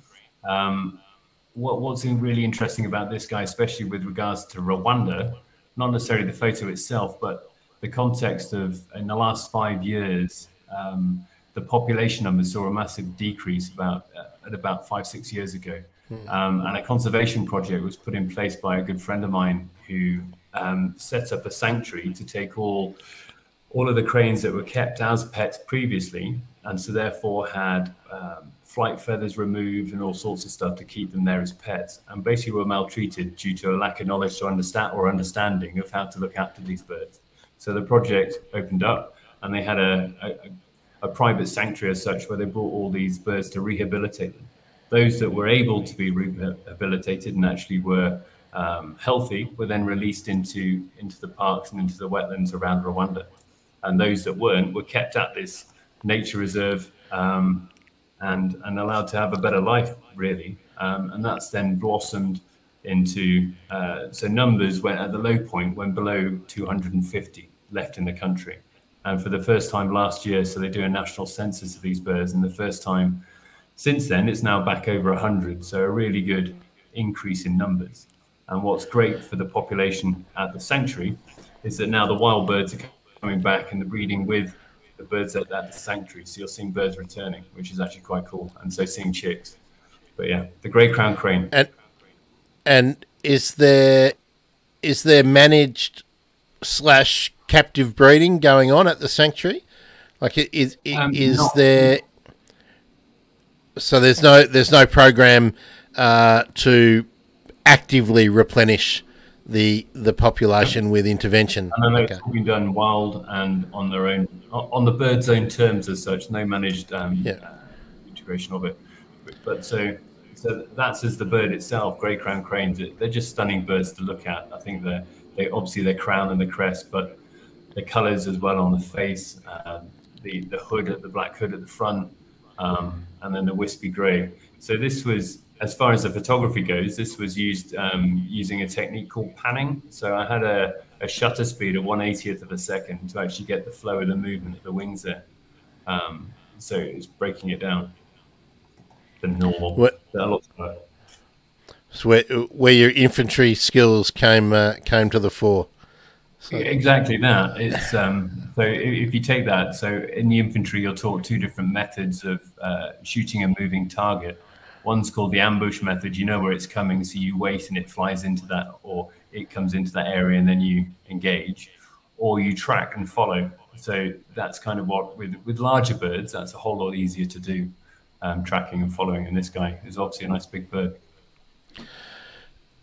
You mentioned that the population sort of crashed, and there's probably a number of reasons uh, for that. But that they were being kept as pets. Is that because they were the national bird and they were so popular that people wanted them? Was there some some sort of status uh, with so keeping them, like, like a peacock? So yeah, exactly like a peacock. It was a national bird of Uganda, not Rwanda, but yeah. the elites across Central and Eastern Africa, within the within their large gardens and the large popular hotels, would have those birds in there as pets. So much like a peacock, but then not understanding how the birds were or should be looked after or transported, and therefore injuries and, and the removal of feathers and broken wings and, and the like to, to keep them there. So so that's where it was, and it was quite a common thing back in the 80s, 90s, and early noughties. So that's the transformation that's happened here in Rwanda. That still kept as pets in other countries, yes, but here in Rwanda, no um, which is pretty impressive. Now, when I grew up, well, did I grow up? I don't know. When, when I was young, um, we just had the crowned crane. Uh, are there uh, are there a couple of species, or has it just been they've just done a renaming? What what can you tell me about the grey crown crane as against the the crown crane?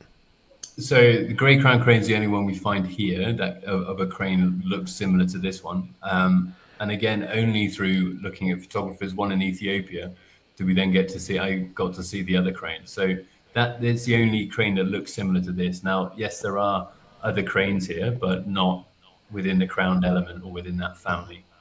Um, so here in, in Rwanda, at least. Now, uh, Martin's talking about photography again, uh, technicals. What can you what can you remember about ISO and shutter speed on this one? so as I say, ISO with this, Um, what, what's the intriguing suspect with when you go from uh, normal birds in flight down to panning is you reduce that shutter speed down. Therefore, you've got to get the light. Normally, uh, as you reduce the um, aperture is wide open, so you've got way too much light. So you've got to reduce that aperture as well to allow for the light and you to get that speed. And so ISO, I have mine on auto um, a lot of the time, and the majority of the time, unless I've got a static bird. So birds in flight would be auto. Um, I can look. Let me have a look at my phone, and I'll be able to tell you what I have my ISO. Two seconds, um, and I can I can give you that kind of information. No problem. Ah, of course. So you're, you're looking up the, the metadata on the uh, correct on, on the, the shot. Image. I can find him. Well, I I think panning uh, again. Panning is one of those uh, those techniques that I don't know. It's like a lot of bird in bird in flight. They take a whole lot of use to, uh, getting used to, and there's a whole lot of misses rather than hits. So for this, the ISO was at 100. It was at 500 millimeters, um, f7.1, and 180th of a second. So those were the metadata as such of what I was using. And about how far away from the bird were you? Um, I'm just trying to think. So it's on the platform, so maybe 20 meters, 15, 20 meters. Okay. Okay. Quite close. Yeah. Yeah. So, and, and that's one of the great things about this sanctuary for birds, especially getting these guys in flight, is that obviously this guy here, you can see that he doesn't have a band on its leg. So it's a wild crane hmm. rather than the ones that are looked after at the sanctuary, which are all bandits. You can obviously know who's who. Um, and so this is a wild crane coming in. And because they've got that population that can't leave, wild birds do come in. So it allows you to get those, these sort of a shot. Um, uh, there we are, Martin. I think I think you need to repeat that no problem metadata. No problem. Uh, ISO 100, aperture f 7.1, shutter speed 180th of a second. Um, and and which which lens would, would did you have uh, part? This was on the R3 or the R5? R3, so it's a 100 to 500 at 500 millimeters. Okay. Um, and as a rule of thumb, the larger the bird, the slower you can take that shutter down. So I reckon even on this at 180th of a second, I could have probably knocked it down to 150th of a second, probably get even blurred the wings, maybe some more. But that, I think that's very quite, well, not very, I think that's subjective and that's down to you as a photographer to decide what you want. Um, hmm. It's also, I think panning shots unless you can go somewhere that you know that flight, so you're standing in one position, and you know the bird's going to come from either left or right or right to left or what angle, um, you need to reprogram. So I have on my uh, like an it's a it's a command function just on the right of my lens on my body that I can press. So my normal settings are one two thousandth of a second um, aperture on the that one, so f seven point one, and it's at five hundred millimeters. So and my ISO is on auto. But if I want to do panning, I've set a command function that I can then click it and it will take my shutter speed right the way down to 180th of a second. But then it can increase my aperture up to, um, I think it's f12 I have it at. And therefore it gives me an ability to start panning straight away. So if that shot comes up, it's a great one to go. Um, and so as far as panning, I like to go for panning when the when the light gets low and or the low light is there, therefore you can't actually have the, the shutter speed you're after. Therefore, panning becomes a great option, and it allows you to do more bird in flight shots, even in the low light that you can't get the shutter speed that you want for a crisp, clear image. Well, before we get to the shots of birds that have nothing to do with water, um, I, I'm with with the cameras you use, with the bodies you you use, do you have them? Uh, I, I, presume you've got a couple of different set settings that you can you can have, like menu. Uh, you know, what are we saying? Setting lot one, two, or three. Do you have yep. do you have one lot set up for at home, and then do you have another patch that you go birding regularly, where you have another lot of settings? Maybe that you know you you normally go there in the morning or in the evening, um, or do you do you go go through and rework, tweak your your settings in each so of your re- menus? I go with. Um, good question. So the, if it's the beginning, I normally start, and my cameras are always set at one two thousandth of a second. Aperture with the 100 to 500 at 7.1 because that's the widest you can go. Um, and then if it's the f4 and the 600, it'll be down at f4, so it's nice and wide and open. Um, and I then will then change it as I go. As I said, I've got a button, a command function that I can press. It will take me to the panning settings. Apart from that, I'll tweak as I go. Um, so I'll have that as my control setting. It's there. But then before I then get from the car, put your gaiters on, get everything to go, I'll check my settings on the light, and then I'm good to go. Um, and it's, I don't know, it remind for me, it's the back going of going on patrol you go check, check, check. Yep, everything's ready. Let's go. And so it, it, takes me back to that. um, Do you like going that, out? That that kind of whole click is. Do you like going Sorry. out with with someone else, um, or do you prefer you and the camera and everyone else can get stuffed? if it's going out to new places, um, I'll go with guides and or friends, and I'm more. That's great. Um, if it's to repeatedly go back to the same place, I'm going. I'll go. I like to go on my own, and I think uh, photography for me is very cathartic. It's very therapeutic. It allows me to cut everything off around and focus on that one, on on the things that are in front of me, so the birds and my camera. Um, and that's been to be fair for my mental health it's been a, nature and birds have been an amazing piece for me. Um, and that's coupled with the fact at the moment I'm, my wife is in the uk uh, she's going through breast cancer and chemotherapy at the moment. And so i'm at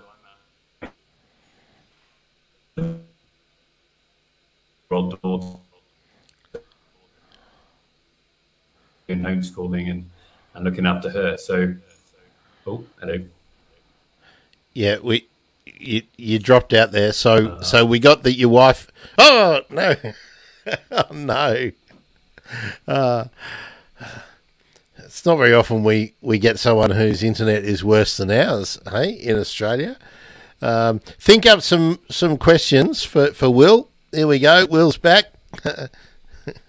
or he's nearly back. We've got the. Here he is. He's back now.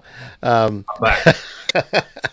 so we, um, but before before we got the uh, the the the hang up there, uh, sorry to hear your wife is is back in in the UK with uh, undergoing cancer treatment. You'd be pretty happy about the NHS, wouldn't you? Um, that you you've got the option to uh, uh, uh, to avail yourself of that. It'd be be pretty rugged if you had to go back to West Virginia or something, wouldn't it? Um, that's what I always say to people when they go, "Oh, we've got these socialist governments in uh, in Europe and Australia and New Zealand, and yeah, but we can go to hospitals." So anyway, only good thing about it about it. Um, how's she doing, Will? Um, we have to ask. Oh no! no, here he, he's back. Did you get any of that, Will? I'm losing you. Can you hear me, Grant? Still? I I can hear you. Um, I can hear you. I hope you can hear me. I I just asked how how's your wife doing, and uh, is she going to be away for an extended time? I mean.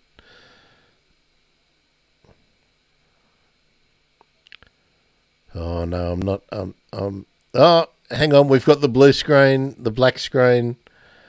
Uh, Here we are. I think you're back this time, Will. Hi. Yeah. Can you hear me? Yeah. Yeah. Yeah. yep. Yep. Yep. No, we, we, we, we, we, did get the we, we did okay. get the whirly gig. So um, I was just asking, um, how's your wife doing? Like, isn't it, is she going to be away for quite some time? To be fair, she's doing uh, four months is her chemo. Um, she's had the mastectomy already. Then that went really well uh, as, as well as the mastectomy we can go, but it hadn't mm. spread was the key bit. The analysis of the nodes afterwards meant it hadn't spread. So the chemo is literally to make sure uh, belt and braces that it doesn't come back. Hopefully, so that's for four months. Um, so and then she'll be back out here between the mastectomy and, and chemo. She's out here for a few weeks anyway. So it's, it's, in a good place and it's going in the right direction. Is, is probably the best way of putting it. Oh, that's uh, that's great. I I'm always interested. I uh, I had to undergo undergo the knife uh, uh, as well, and um, uh, it's the best thing. Waking up, it's pretty good. Uh, Martin Martin obviously came in late. Will is currently in Rwanda in in Kigali. Um, uh, Martin, you yep. probably missed our little conversation about what kind of a city is Kigali, and, and, and I had to ask some horticulture questions as well. Uh, we can we can jump into. I'm hoping that this is in your garden, Will. Um, tell me if it's not. This is my assumption. Uh, uh, we've got actually. Um, this is. Uh, so you've got a scarlet-chested sunbird, female, feeding a Klaas cuckoo chick.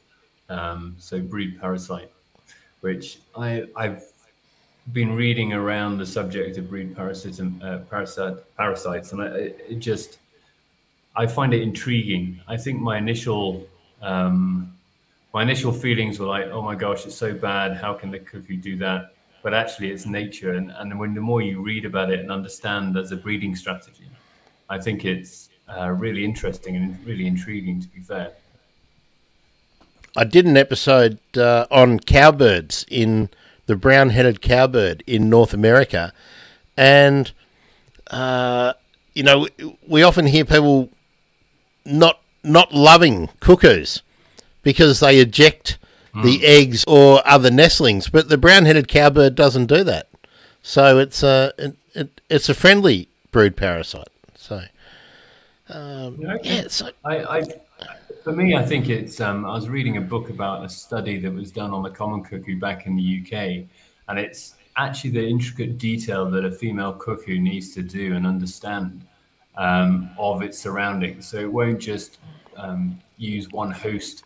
Uh, it will use one. It will prefer one preferred species, but actually there'll be seven or eight different nests that it's trying to get its eggs into, um, and it needs to time those eggs for once an egg's already in, in the host nest before it puts its own egg in, the time it takes, um, and the whole process behind it is really just fascinating.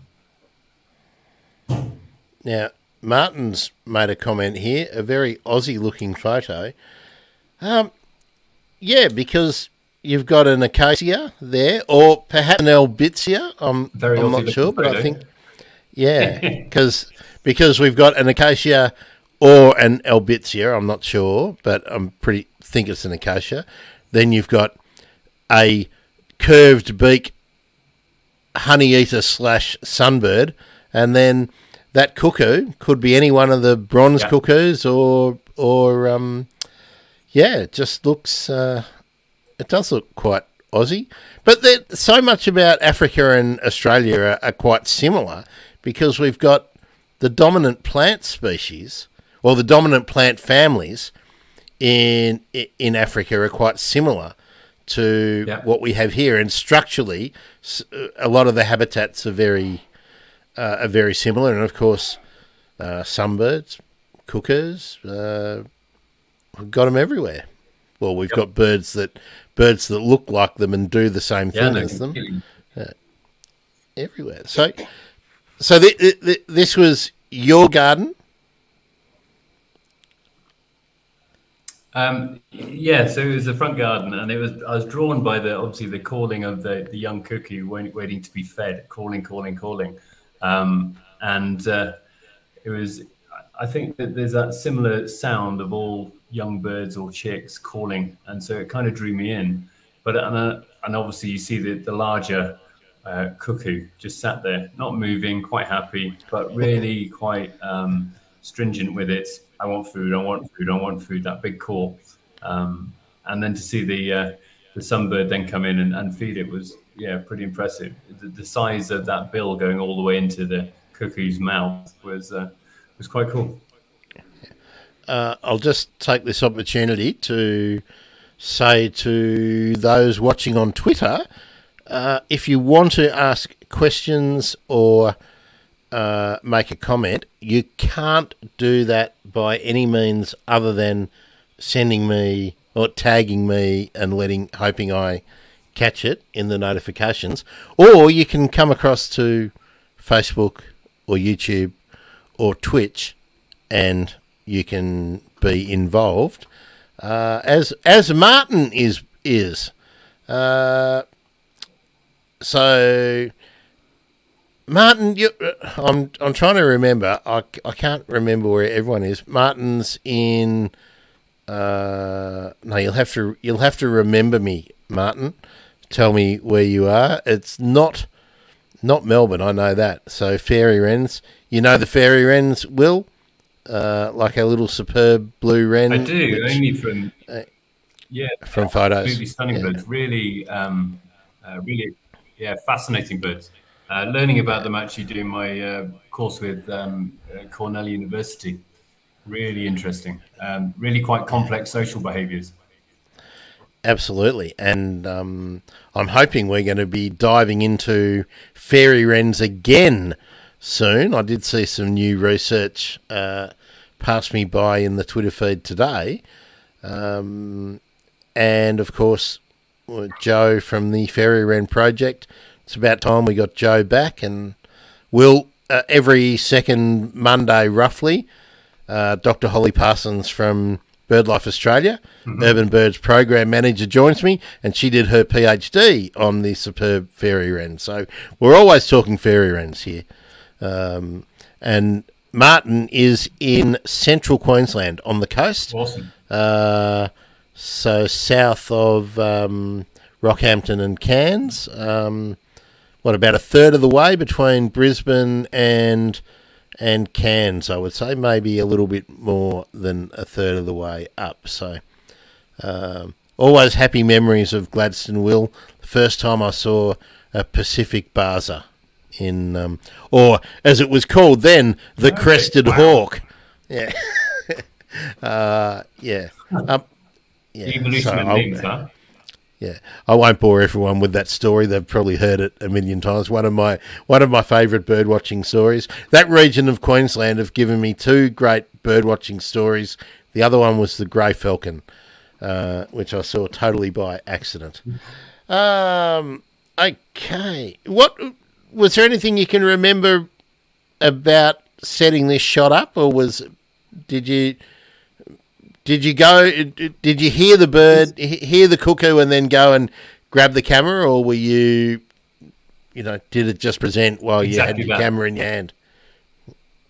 Just no, exactly that. I heard it, went and saw, and then go in and grab camera.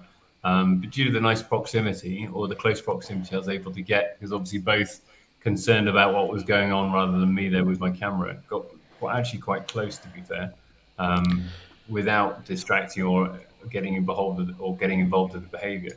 So, and it, they, they actually sat there. So I haven't, it, it, it, composed itself nicely with the sunbird being higher, the cuckoo being lower. And I think it, that's what makes it sit nice for me. So that was with the composition, um, to be fair. Now, the, the Australian sunbird species that we have here and the Southeast Asian ones that, that, that I'm familiar with, uh, make a hanging nest and will often nest, you know, under under a veranda, you know, by your back door or your porch or something. Uh, is is your sunbird uh, very happy to coexist with you?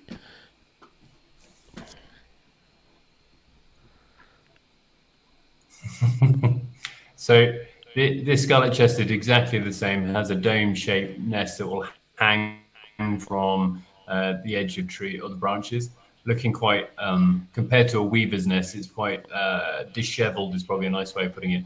Um, and, and can actually look the way it hangs like it's debris just hanging off the edge of the of, the of the branch. Um, so again, not surprised that the cuckoo's not in the nest, but on the side of the branch because of that fact. Are they? Uh, will will they nest really close to, to the house, or uh, are they quite happy to be in really close um, proximity to you? Not necessarily. Well, Yeah, I've had variable sunbirds which are a little bit smaller than this guy. These, these scarlet chested, or this, this scarlet chested female, they're actually quite um, of, of the sunbirds, quite of a shy, the shyest, shyer ones. So there's uh, two or three other species that will. Uh, we've got nests uh, up and around the balcony on, on the side. On the, there's a big palm tree that grows, and they, they're in the underneath. Um, uh, they're still on the underneath of the sunbird. So uh, the nests are actually hanging on the underneath of the palms, which is quite quite cool.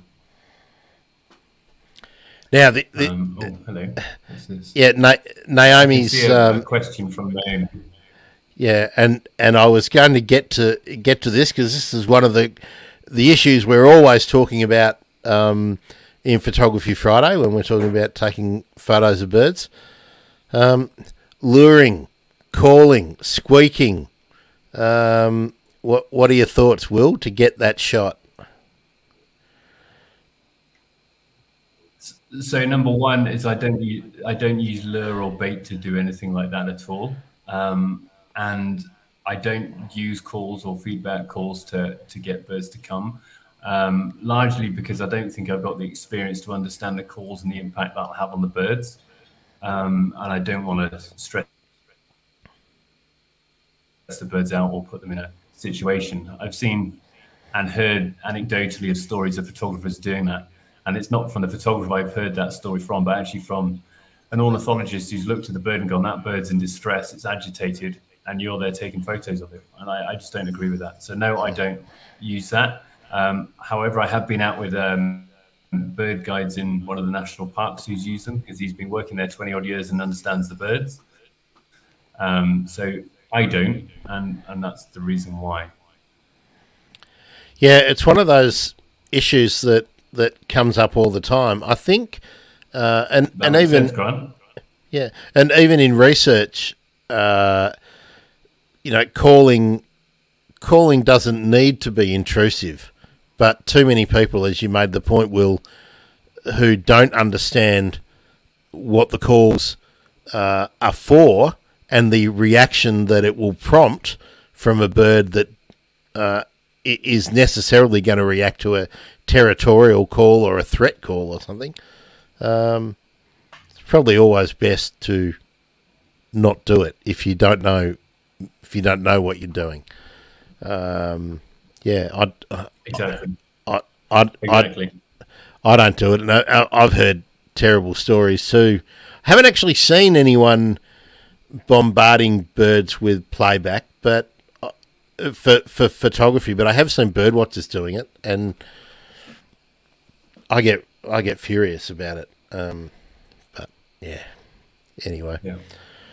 I don't I don't own the birds. Neither do they. All right. Uh, oh, another another comment. Uh, uh, yeah, I'm I think I think Martin's agreeing with you. I'm pretty sure. I'm pretty sure that's agreeing with you. Um, yeah. So let's let's have a look. How th- this species of cuckoo will, uh, when they're fully grown, yes. how do they compare to the common cuckoo uh, that that that we're familiar with from Europe? So these guys will go. Um, you can start to see the green coming through, but they are dominated by the green. Lovely, beautiful, bright greens. Um, Size-wise, quite similar. Maybe a little bit smaller than the common cuckoo, um, mm. but it still has those stripes. You can see the bands across the chest that go down, and there's also on the tail. But for these guys, it's just it's like it's, it's just a green gem sat on a, on a on a perch when you see them. They're stunning, absolutely stunning. Um, and so they back here, in Rwanda, they will also not just use, as you can see, the sunbird there, but a bird called the black-headed gonolek, which is like a bush shrike.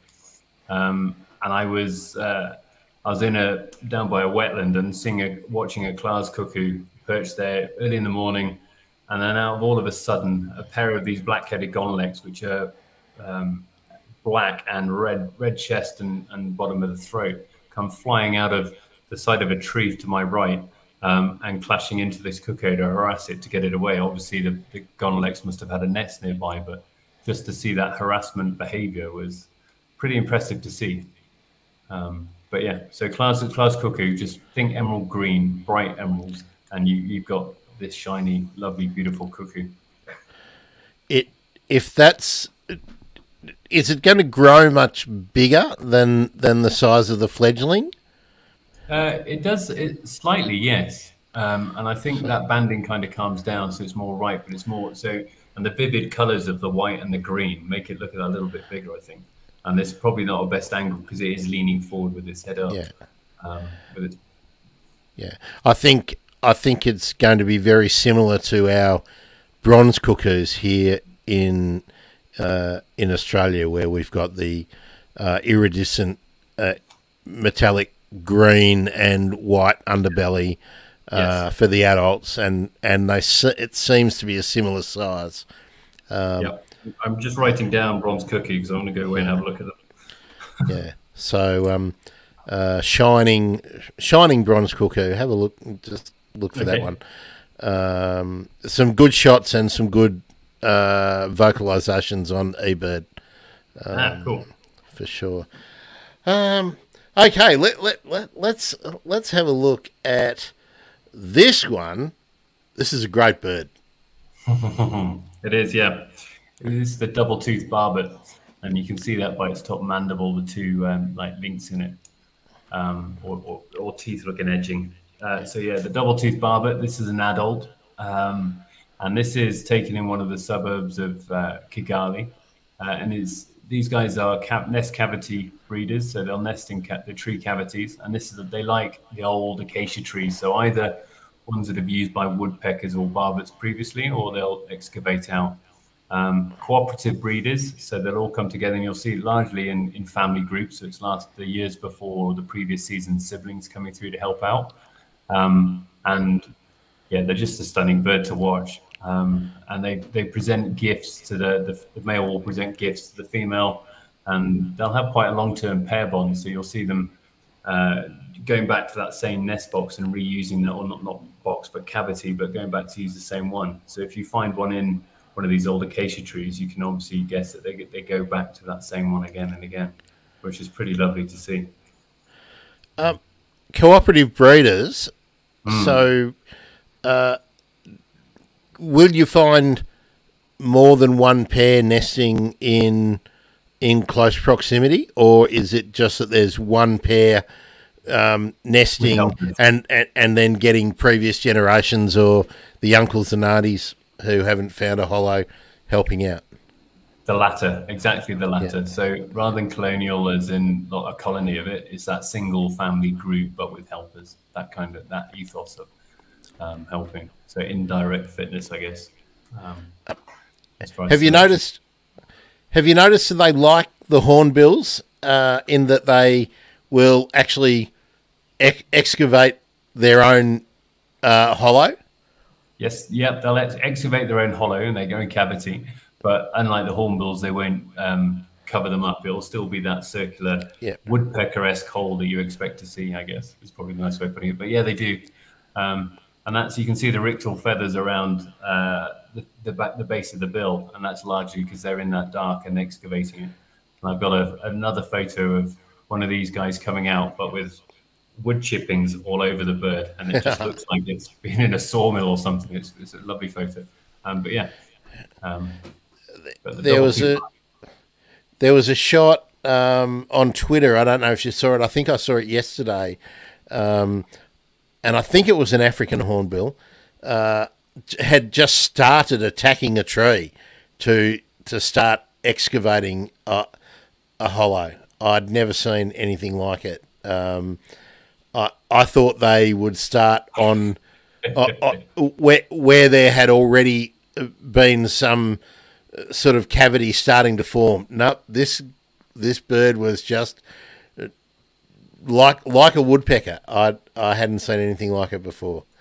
Um, beautiful shot. Whoever uh, whoever um, did it. So what have, what have we got? Martin's got good eye contact. Yeah, he's checking you out, isn't it? For sure. Um, Thank you. And Yeah, yeah, yeah. yeah, yeah, it is it Yeah, is. the- um, is a it? special and quite one of the larger barbets too. Um, give us. Uh, is it is this in? So we'll get. was this in a private garden or in a in the street or in a park? Yeah, it's one of one of the expats got in touch and said, "I've got a um, a friend of mine said this expat's got basically an old acacia tree that the um, Barbet family's been there, and apparently they've been there for about three years in this tree, returning each season. And what's quite cool is, unlike I think, unlike what I'm used to back in the UK with those strict breeding seasons that start in spring and go into late summer, these guys, I think, because of the I guess the the lack of temporal change in they're quite st- stable environment. When there's an increase or there's great food, these guys will breed. So there's no set time frame that you expect to see them.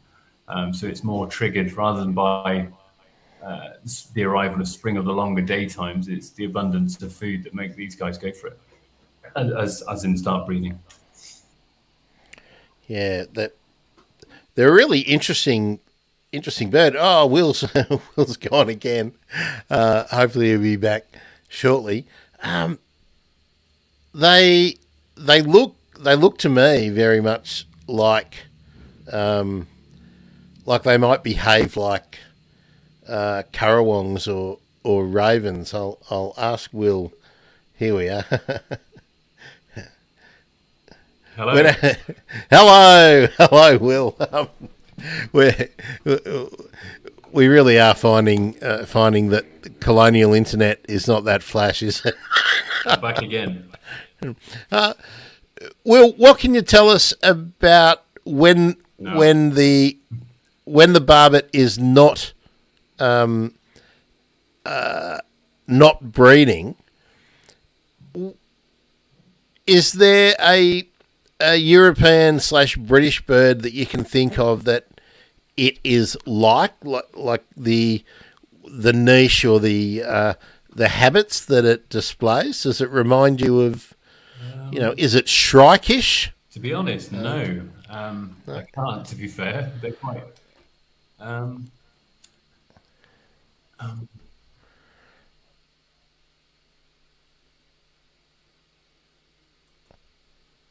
There's another another question too. Uh, we're having we're, we're not having good luck with uh, with Will at the moment. Um, hopefully he'll he'll pop back in a minute. Uh, yeah, the, the the lighting is is nice in this, isn't it? Um, I also like the the the diagonal composition. You know, one, two, three, sort of uh, diagonal lines. Um, yeah, there's no doubt that the, the beak does look like a, a saw and a punch. Uh, yeah, that, that the tooth is is pretty amazing. We'll we'll ask we'll ask Will. Uh, I'll just take him out and then so pop him back if he can come in in a minute. Um, I don't think we're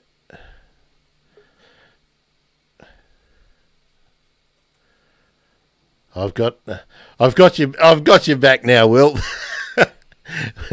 we really are, uh, uh, we really are in the Hello. in. Hi, Will. We're really in the wars, aren't we, with the uh, with the internet? But we'll soldier on. We've only got one more one more shot to get to get through.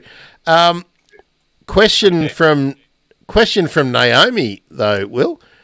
Um, what do they eat? Yep. The the barbet. So fruit, fruit, insects, and date palms. They, this this family here had a massive uh, palm tree with loads of date palms, and this is what they were gorging on at the time. So largely fruit, but also seeds, um, fruit, seeds, and insects. So quite an omnivore as far as a generalist when it comes to, to food, but preferring the, these ones, preferring the date palms.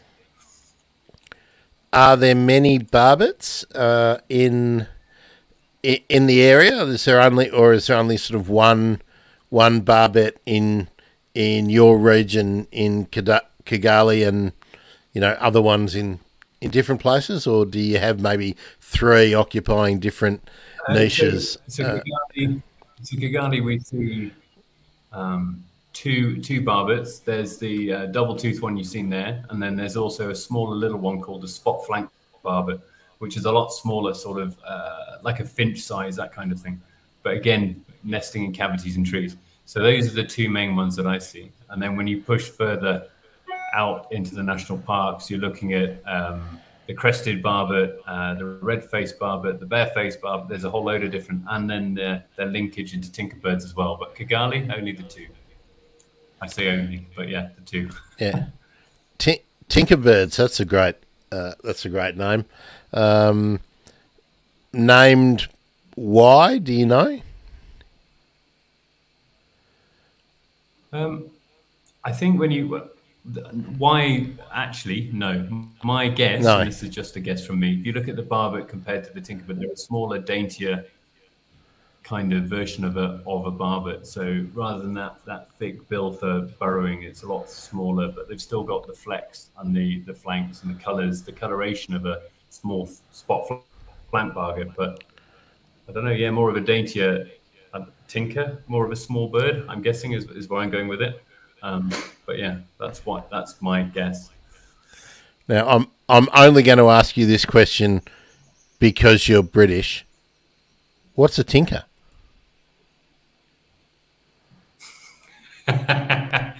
Um, so rather than being British, I'd, I'd push you to Tinkerbell and uh, Captain Hook's friend. So that's uh, it's a type of someone that, that tinkers. It, it goes around and collects stuff and, and puts stuff and builds stuff together.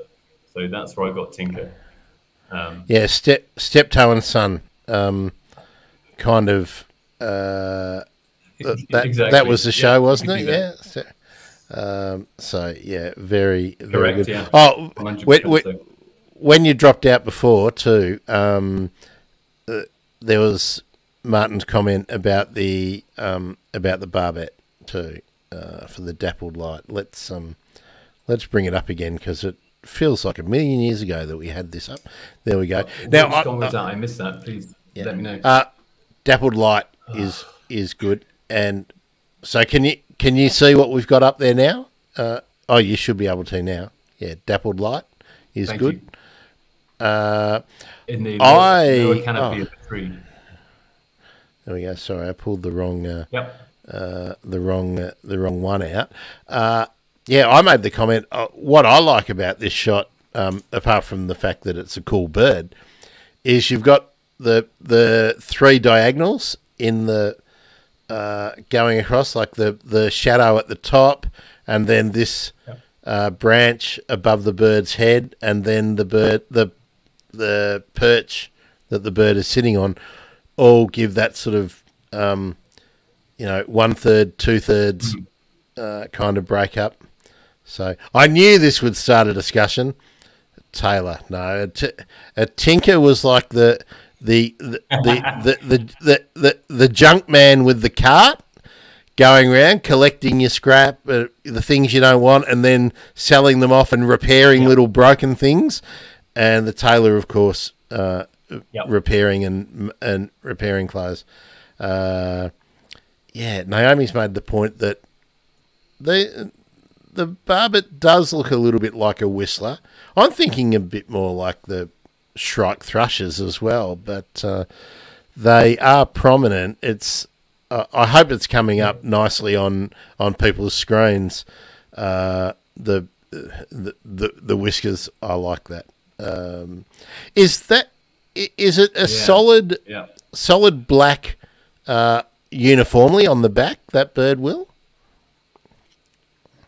So it's it is black, but it's got that like more. It's, it's nearly an iridescent blue that comes through. It's a sheen. lines. You can see on the top there. You can see it's like a bluey black. Yeah, it's a lovely sheen on it. Um, it's a stunning bird, really beautiful. But yeah, those um, those rictal bristles, uh, so the whistle, uh, the whiskers, there because obviously it spends a lot of time inside a nest cavity, and so uses them for touch as it moves around with inside that cavity, and can see what's going on. Um, So but yeah, they're, they're yeah, they're quite cool. Yeah, because um, going back uh, half a million years, they were always going, "Oops, bump me head. Oops, bump me head. Oops," until they got those feathers coming. So, yeah, yeah, yeah, exactly. Evolution's awesome. Yeah. Hey, bird god, can you do something about this? Bump me head again. So yeah. Uh, okay, let's get to your let let's get to your last shot that you me. I saved the. I don't know if it's the best till last, but boy, this is a stunning bird. Yeah, these are pretty impressively lovely, beautiful birds. Um, so quite big, uh, quite large, but still really agile within the trees. And these guys are fruit eaters. So the tree you can see behind um, is a podocarpus tree with that, that fruits um, in my neighbour's garden, and we've got some in our garden. So from the balcony of my house, I can see both trees that it likes to fly from. Um, and as I say, it's quite agile for the size of the bird. It's quite agile moving around within the canopy. Um, and so they, what they do is they'll, they'll come in quite low. So they'll come in quite low to the tree, have a look for the fruits, then they clamber up to the top of the tree before then gliding as this one is down to the next tree. Um, and so the, what I love about these birds is the wingtips, the magenta red wingtips that only you only get to see when they're in flight with their wings out like this, or with their wing, when they're in flight. Um, they're all covered away once they're perched. Um, but it's also the prehistoric look of them. I, they're just amazing birds. My, my daughter calls them the primary colored birds. The primary colored birds. Um, yeah, I suppose. Yeah. Uh, so do, do, do they appear more navy blue than black when you when you're seeing them with the naked eye? Yes. Yeah. Yes. Uh, there's there's that kind of sheen, that iridescence, like like similar to the um, color on the barbet you saw on the back of the barbet, but this is more bluey, more bluey than black, definitely. Um, but yeah, it all I, depends on that light. Um, now I can see the. Uh, I've I've got a notification for the for a comment here, and I'm guessing I know what it's going to be. Oh no, it's not. I'll put it up anyway. Uh, Naomi said it's a stunner. Um, yeah, suburban. Uh, suburban. I think we can see a roof in the uh, in the background. Podocarpus. We have Podocarpus Completely. here in in Australia as well. Um, but it, I was expecting so someone to say. Guys, um,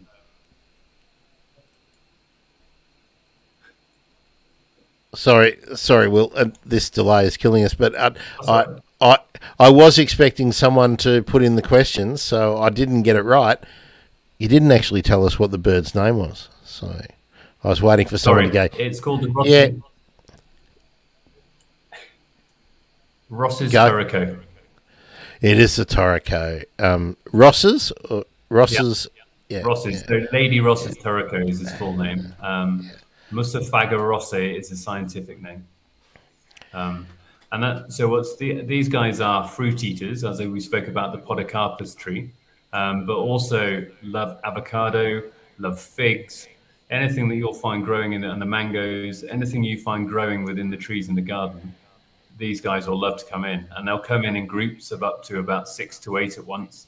Um, really gregarious in their song uh, call. So if you go on eBird and, and listen to their call, it's really uh, unique, um, and it's yeah, it's a stunning call. Really quite awesome birds to watch. Um, but yeah, in my garden, so this was on the balcony, um, and because of all the, the fruit trees around Kigali, there, there's actually quite a good population here. Um, quite stunning to see uh, in an urban environment. To be fair, not your normal bird. How big are they? So, um, da, da, da, what are we going to say here? Um, I'm trying to think. Think of a young peahen, that kind of size. Okay, so so they're hornbill size. Yes. Yeah. No. Completely. One hundred percent so. Okay. One hundred percent so because they because they look very much like a hornbill. I, and now that I know that they're a big bird, uh, I I was wondering if they would eat a mango or an avocado pretty much whole, and would they then be distributing those big seeds around, or are they yeah. uh, or are they ripping the fruit apart? Um, so the, all the the podocarpus at least, and that's probably the main one I've watched them eat. Is everything is going down whole, um, and they're, they're a bit smaller, so it's they, they'll swallow them whole and then um, yeah dis- distribute as they go as such. Mm-hmm. Absolutely amazing, amazing bird. Um, so I'm lo- I'm looking away because I, I, every time I see a notification on Twitter, I can see people have been uh, have been watching on Twitter, but we haven't got any questions. So I just keep checking. So that's why I'm looking away. I'm not looking away because I don't want to talk to you. Okay. Um, uh, yeah. So I wish I wish they I wish I wish Elon had fixed Twitter and allow it to talk to um, all the other programs uh, like. Uh, like Facebook and YouTube and Twitch do, because it doesn't matter where people are from uh, they can join in. Right. So that's um, that's finished up with the the photos we wanted to talk about. I I want to ask you just a few more general uh, photography and birding kind of questions. Um, and someone someone's got a comment, so. Uh, Uh, I I don't know. I don't know if Martin's making an Afrikaans joke there or something. I, I, I don't know. Run, run. They, they would run here. Twitter. Twitter. Um, I don't. I, I don't know. Sure. whenever I see Martin, you'll have to clarify. Whenever I see H E E R, I just think of someone doing an Afrikaans joke. So. Um, Okay. But, uh, so, but we've got a tenuous link. Africa. so, okay. Yeah, yeah, yeah. uh, I, I, I don't know. I probably I'm probably verbaling you there, Martin. Just um, uh, sort us out. Neither of us got that one. Um, well, what's are you, you? You mentioned that you you're always looking at YouTube and checking out what other people are doing in their photography. So, what's mm. your um, what's your next uh, goal? You've got the you've got the book out, and you're doing the you're doing the the writing, and you're obviously sharing yep. the. I mean, I'm, well, actually, let me ask you about that. About your writing, are you mostly writing for beginners? Are you are you looking to get people into nature? Um, That's exactly it. Yes. Yeah. Okay. So, in general, like I, I know just when I look at my stats for the podcast and and on YouTube and where people are from. I mean, Europe, North America, Australia, big, big, big birding places. Uh, how's how's East Africa? And look, you've you've you've been in uh, uh, Khartoum as well. Um, I'm I'm always surprised when I go into Southeast Asia how few people, how few of the locals are are interested in in what's around them, and a lot of that I think is because of the economic situation that you have to be well off enough to have the time uh, and, and and the resources to enjoy stuff around you rather than just get getting a meal, right? Or or or fi- or fixing your roof from the latest typhoon, um, you know, or or the latest flood or the latest earthquake. So, uh, um, and th- before we before we get on, um, Martin. Uh, I was verbaling Martin. so, I think there's plenty um, of um, overlap. Yep. So I think there's plenty of overlap there. I think um, your your points you raise about go on. It's, that, that's just the delay that's that's got us going. I'm relax, I'm reacting, and there's obviously those minutes in. Uh, do, do you speak to school groups or anything like that? Will? So, I think um, there's overlap with your thoughts with regards to uh, time available for people to do that. Um, and number one, my writing. Uh, my writing is definitely for the layman because I put myself in that bracket as well, um, and it's that's where that's where I feel I've got a, an area to write about. Whereas it's not for um, the the advanced birder who knows all sorts about the birds. It's actually to increase people's awareness about what there is here in Rwanda.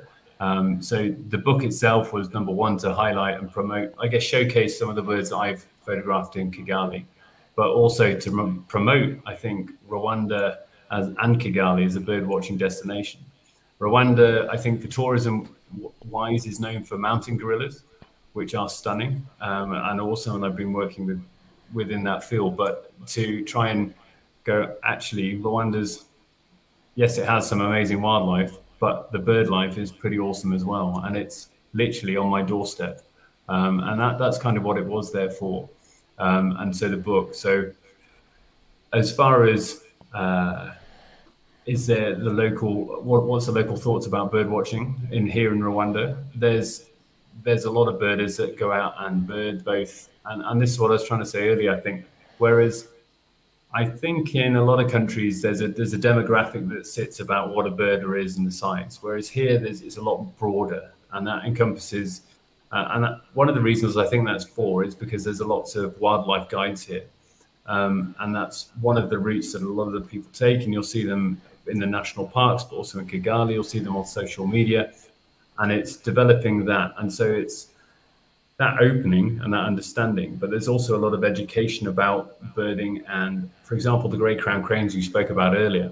It's that education about this is the bird, this is how cool they are, and that education of what's around of nature and how we can actually be at one with nature and live with nature rather than being in conflict.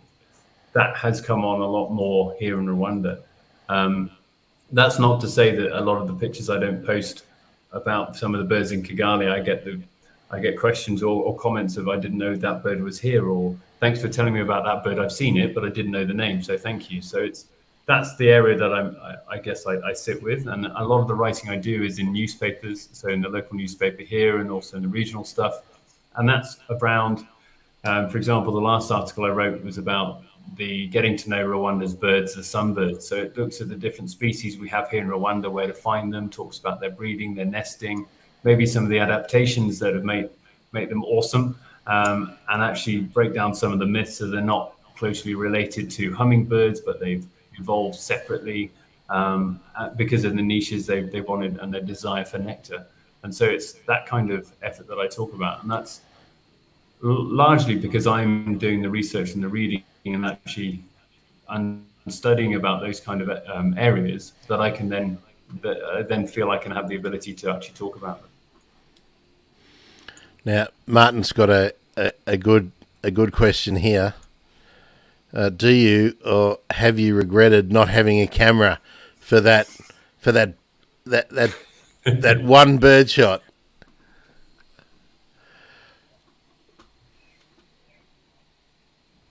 Yes, no, completely. I do. I take my daughter. So as I, as I've said, Kigali's built on a number of hills, and there's there's big hills all over the place. And my daughter's four, and she's trying to and she's learning to ride a bike right now. So I take her down to the local park, the eco park, on a Sunday morning, early in the Sunday morning, on a bike, and it's all about her and a bike. But this park has got over hundred different species of bird in.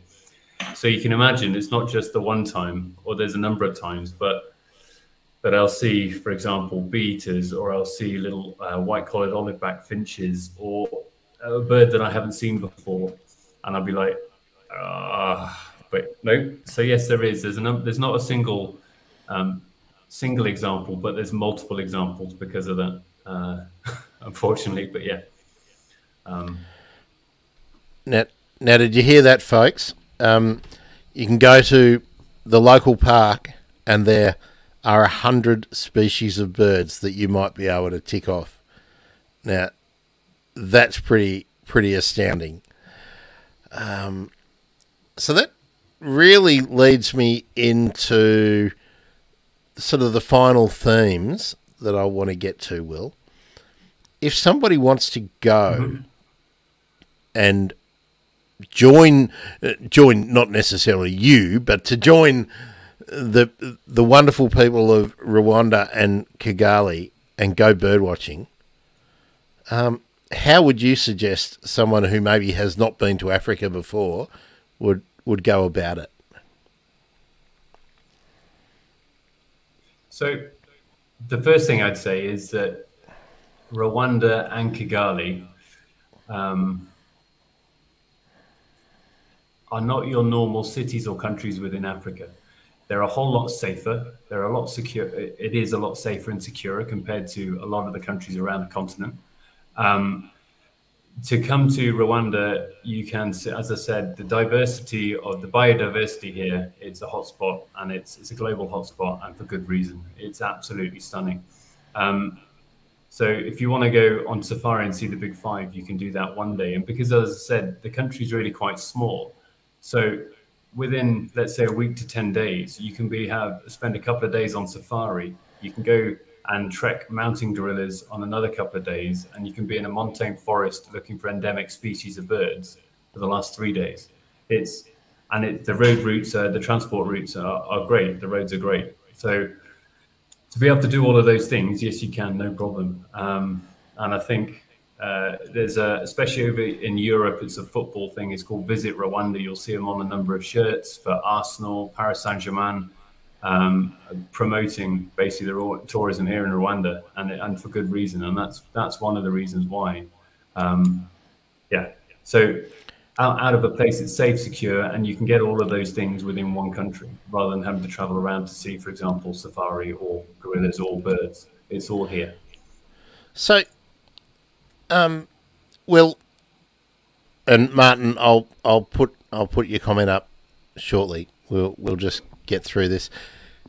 If somebody um, just wants to travel the way I like, you just arrive in Kigali and then decide what to do based on the weather or where you are. Is is it conducive to that, or do you need to have organised a tour or something uh, no, first, or can you just turn up and then? Yep. Kigali, Kigali is a hub of um, all those transport routes, and it, as it as I said, it's not the old capital; it's now right in the middle of the country. So, to to come here, stay in a hotel. There's guide companies all the way around. There's birding birding companies that will take you out and guide you from here. So there's loads of stuff you can actually do from Kigali.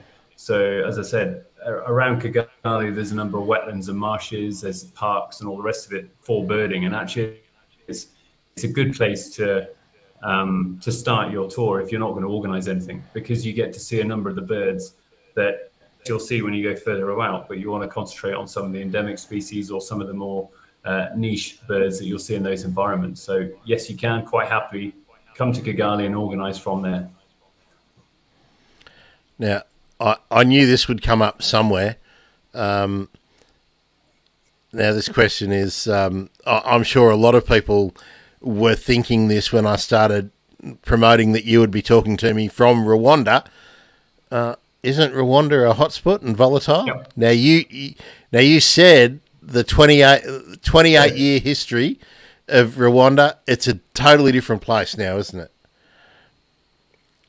Correct, one hundred percent. So, what I would say is, it start as it sits in direct contrast or stark contrast to a lot of its neighbours as in this place is Rwanda secure, 100%, as in it's the safest place. And this is why I say if you haven't been to other places in Africa, or, or you have, if you have been, it'll feel very different. And if you have been to Rwanda and haven't been anywhere else, then it's a, it's a, it's a stark contrast of difference. Um, yes, it's safe, it's secure. Um, I'll, I'll, give you an example. I living in Khartoum in Sudan, I used to get stopped by the police for bribes and all sorts of stuff to, to be able to go through um, with pretend violations, traffic violations, and then get told, right, pay me money. Um, I came here and I got stopped the first time in my hire car. Um, and I was like, oh, here we go. And the guy said, can I have a registration plate? He checked my number against his system on his phone. No, you haven't got any traffic violations. Go. And I was like, what? It's actually police doing what police are meant to do. Hmm. It's a safe, secure country. And, and this is what I mean, it stands out in stark contrast, both the cleanliness, but also the security levels. So Is it a volatile hotspot? It sits with its neighbors, so Burundi and the Congo are, yes, definitely volatile hotspots. However, you want safety and security and actually um, a place to be able to go and visit and understand the culture, then yes, Rwanda is here. And I, and I talk about their past because it, to understand the devastation that happened in 1994 and now to see where they are now here and how the country is doing and what it's doing, it's, as I say, it's very impressive and breathtaking. And I don't say that as a Rwandan. I've only been here two years myself, but having traveled quite extensively across the continent of Africa, it, it, sits apart because of its safety and security. So uh, that's what I, I, come back with. And there has been uh, news stories recently about Burundi, uh, and I think some of the the tensions from that existed in Rwanda are now playing out in in in Burundi. So hopefully, hopefully the whole uh, the whole region can can find some uh, some peace, and hopefully Rwanda will be a model for uh, uh for its neighbours. But you know, but but so many of those countries that have reputations of being um, safe places to go um, have have different issues. I mean, Kenya, Rwanda, uh, not Rwanda, beg your pardon, Kenya, Uganda, uh, Tanzania have all got different things to be aware of. I think it's like traveling anywhere. You yeah. just need to educate yourself, don't you, before you go. Um, yep, no, completely agree. Um, no, completely agree. That, well, again, as far as the safety and security, especially in Kigali, you can walk around quite happily at night time on your own in Rwanda and around Kigali streets, and you're safe. Um, so, are there do all countries have issues? Of course they do. Is this safe and secure for a tourist destination? One hundred percent, it is. Um, it would be my comeback to that.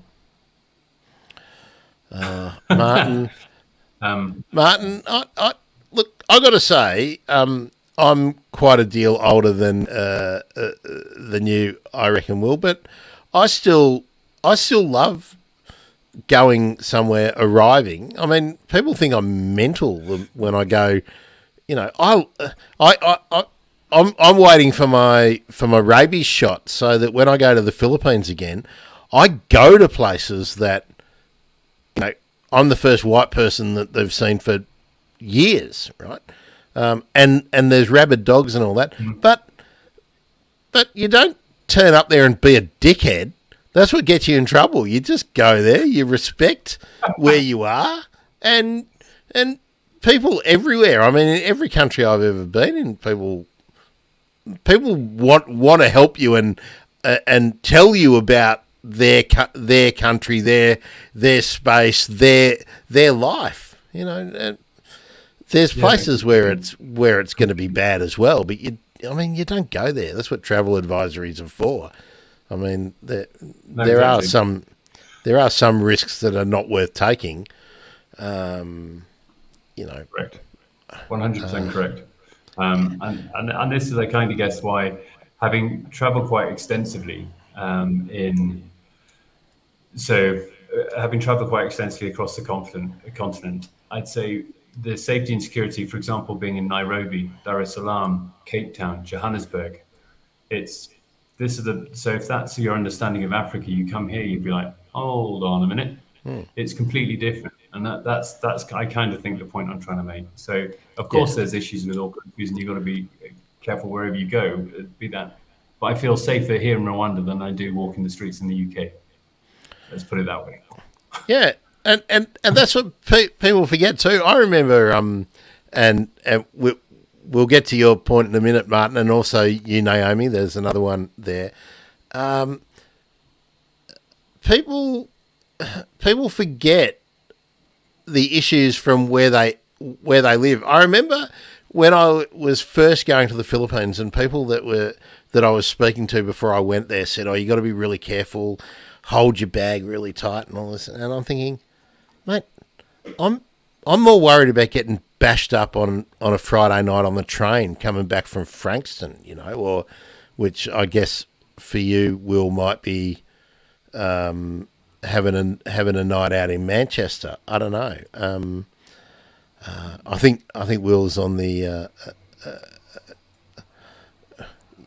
I can still hear your mic, Will. Oh, there we go. You're back. You, you were frozen for a little bit. Um, is I mean, going out for for a night on the uh, uh, uh, on the uh, on the grog in Manchester might be scarier than um, going out for a, a, a, a, night anywhere in in Africa on uh, after a footy match, right?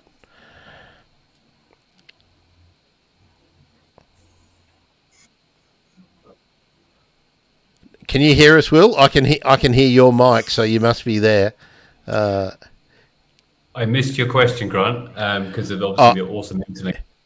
Yeah. Um, I I was just so I was just wondering now, whether it was, um, it was a bit broken. Yeah. Yeah, no, we, we, we had a we had a, a, a drama, but I was just making a, a, a, bad joke that a night out in Manchester uh, after a after a footy match might be um, more dangerous than uh, than uh, you know walking home after a night out on the tiles in, in Kigali or or even Mombasa. So exactly, yeah, exactly. Uh, now, Martin Martin had a question, and I Martin clarify this if I'm if I'm wrong, but Martin's asked: Are these birds a food source uh, in the general issue? I'm I'm wondering: uh, Are they uh, are birds in Rwanda often bush food? I think that's what Martin is is asking us. Are people eating uh, eating birds? Oh. Uh, no, uh, not. I think the majority, no, it's not an issue with regard to population and, and stuff like that. I think the issue is not for eating birds, it's actually, I think, which is a global issue, and that's habitat loss and using basically using the habitat that should be there for the birds and chopping it down and using it for unsustainable agriculture or stuff like that, or, or however they're using them. So birds being munched on, not an issue. Um, the bush trade is actually over in, in neighboring countries and not here um, and there's actually stark laws for that. So no, no, that's not the issue. Okay, and here we go. I'm just coming back to Naomi's question because it's a little bit um, back on back on birds, the conservation status, and uh, and really whatnot. Interesting question. Um, yeah, predation habitat habitat loss, which I think is a global issue for the for the global bird population, is definitely here. And I think the overpopulation. Um, Rwanda is one of the, the, I think it's the most densely populated country in Africa, um, and so that does have an impact. But actually, as I say, the, the restoration of wetland around Kigali that's then also been pushed out. So they've just completed last year one wetland restoration, which I was speaking about, but now they're looking at another further six. So trying to have or trying to fight back against that overpopulation and habitat loss. But obviously, with the amount of people here, therefore the food requirements and therefore habitat loss is still a key issue, um, are the key ones. So overpopulation, yes, um, and that leads to the habitat loss because of what comes in as well. Now this this question from me, uh, Will, is you may you may not have been there long enough to, to get a, a handle on, on this, but with urban development in in Kigali and, and there's obviously other urban centres in in Rwanda. Uh, do you think they're doing a better job in doing um, environmentally friendly? I know that's a horrible term, but I think uh, in in a new city without colonial baggage and, and the power structures that come with all, with all of that, are they do, doing a better job of new developments in in an urban setting on the fringes than you're seeing in in say Western countries? Because we're we're completely stuffing it up. We haven't learned a thing in forty years here. Uh, so, so uh, get, yeah, and being so say, densely populated, I guess that's going to be a big issue. So it is a big issue. Um, a good friend of mine is actually um, working on what's called the Green City Kigali project, and that's looking at how you do sustainable housing that's ecologically friendly. And again, using that buzzword for you, but it's how you do affordable house, uh, how you build affordable housing using actually those kind of ethos and that kind of idea. And so that's in the process of going through now. So have they learned? I, and again, the key thing is for me is looking at the different areas that yes, Kigali, the development is going up and it's continuing to build, but it's an understanding I think where they're coming is actually really quite good of understanding that normally it's it's flat horizontal building. We're actually realizing you need to build up, but how you do that in an affordable manner and actually the one that doesn't trash the environment. And so that's a work in progress at the moment. So I can't tell you anything about that, but it is going the right way from what I can gather. So if those projects are up and running, it suggests they're learning something. Um,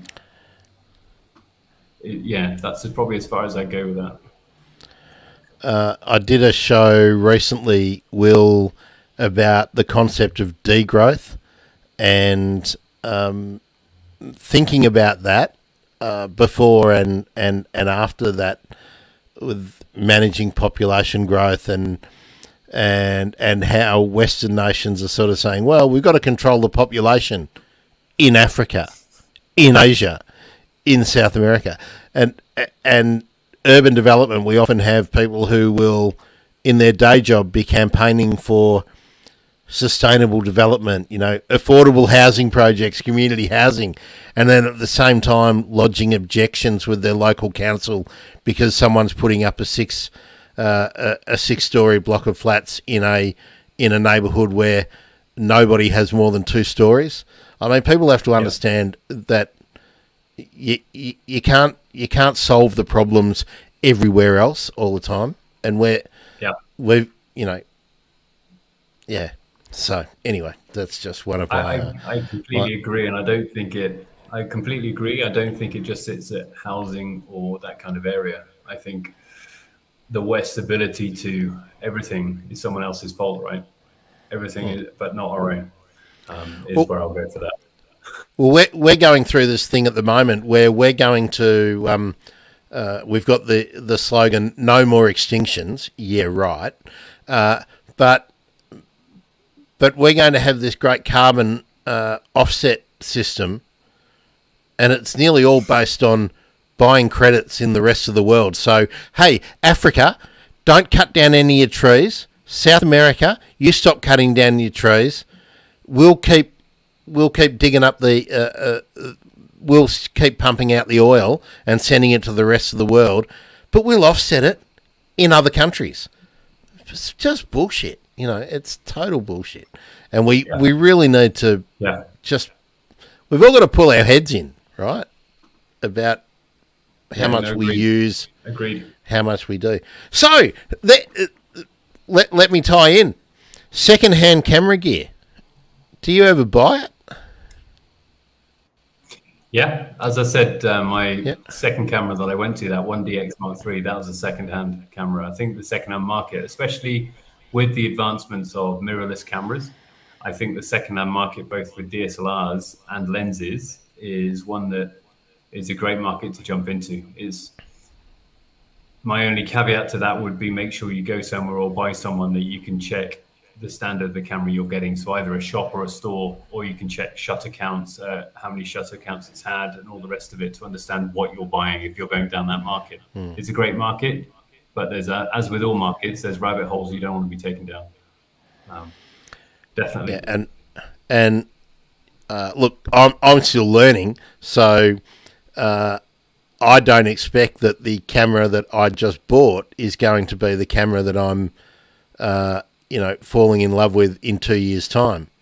But in two years' time, yeah. I want to buy something that is, you know, low low shutter count, you know all all the things you, are looking at. But at the moment, I just want it to work and teach me how to how to take good photos of birds. So uh, uh, now, Martin, uh, uh, Martin's got a technical question.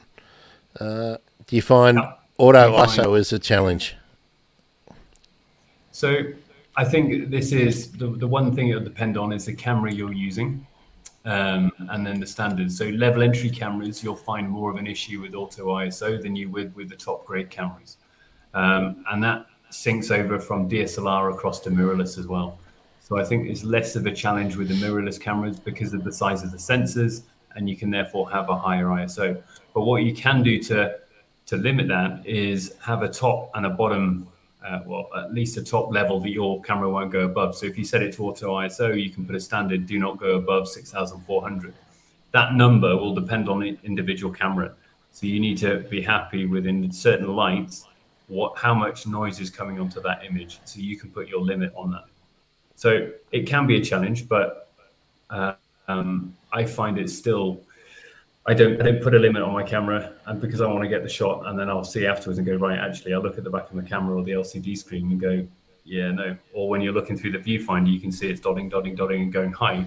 You know you're not going to get it, and maybe rather than using ISO as the way to get more light in the camera, you might want to reduce down uh, or open your your aperture aperture wider or decrease the shutter speed somewhat to get more light in the camera. So it can be a challenge, but I think it's it's a way for me for me anyway. It's the way forward using auto ISO, but it depends on that camera. I'll I'll just ask Martin or invite Martin too if you've got a particular issue with with how you've been using auto ISO or you may be setting it up or something, particularly if it's uh, if you're using a Canon.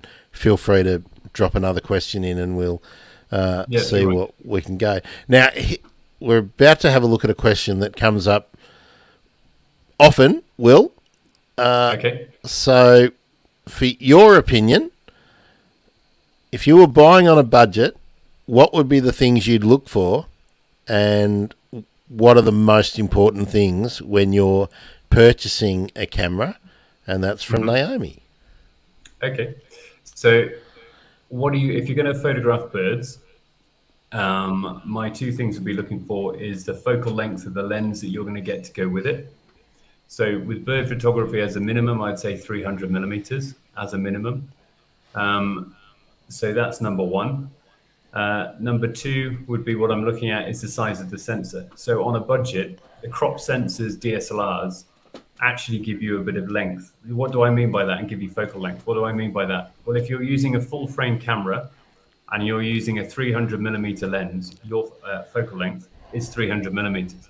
However, if you're using a crop sensor, which a lot of the more budget cameras are, with a crop sensor, exactly that, then if it's a 1.4 and you you have a 1.4 crop sensor that you put on a 300 millimeter lens, it's not 300 millimeters it's 300 millimeters times 1.4. So you're getting more more focal length bang for your buck. Does that make sense? So that's let, what let, I'd be looking let, at. Let me let me explain. Uh, for for Will to get this 300 mil three uh, micro four thirds with my professional camera body I get the equivalent of 600 mil with this lens uh, with with Will's setup. Now, Will, I I did get uh, I I did have a look. Uh, 600 mil lens. Uh, where are we? Uh, 600 mil lens. Oh, don't tell me. Don't tell me. No, I, I haven't got it there. But for those, actually, have I still got the? Have I still got Sandy in here? Um, I don't think I've still got that photo of Sandy. If you were watching, um, watching the Sandy episode, remember that stonking big lens that Sandy was carting around? Uh, I think that was a 600 mil. Now I get the same from this, yeah. and and together they weigh they weigh less. Uh, I think it's one point two kilos. So exactly. But so that's if I want to blow it up, if I want to blow it up onto big shots, I don't. I don't have as many um, uh, pixels. I don't. I don't have the resolution for large. Uh, but no, if no. I'm only ever looking at eight by ten or you know A4 size stuff, it's going to be good enough. But is it going to be good enough for for National Geographic? I don't know. But uh, we have talked to people. It's also not just. I think it's also not just the focal length you'll get. But it's also the quality of that glass, so the quality of the image, um, and and therefore, and that's why, as for as a photographer, that's why I say my fame, most, thing I'll be uh, addicted to buying is glass and lenses rather than camera bodies. Um, so if you're buying on a budget, yes, check the shutter. If you're buying second hand, definitely check the shutter count to make sure someone hasn't gone over it. They're trying to sell you. Um, and with lenses, it's making sure there's no cracks in the glass and you've got to look straight through and there's no elements that are broken within there. Those are the key bits for it. Um, and if it's a telephoto that's smooth, you've got smooth moving and the workings are actually there. Um, and the last thing I'd look at is the rugged seals. If you've got any weatherproof seals around the lens and where it attaches to the body, um, and around where you put in all the DSLR, uh, the, sorry, the SD cards, doing the same thing. That's yeah. Those, those that, actually, that that that's the things that you get with experience, isn't it? Because um, the, you raised one of the really important things that people often don't think about when they're setting their uh, when, when they're working within their budget. Hmm. What kind of what kind of photography do you think you're going to be doing?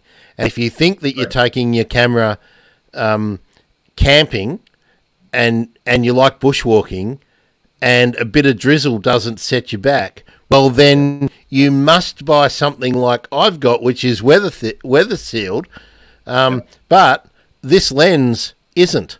So but I do have a smaller lens without the same focal length, length that is. So you just need to yeah you need to balance it up.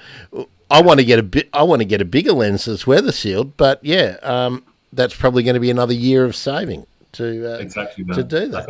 Um, it's, it's, also a management of it, not just a management of expectations, not just of the, the equipment you've got, but the level of image, as you as you spoke about, the level of image or the quality of the image you'll get at the end result for that budget. Depending on what your budget is, will depend on the outcome.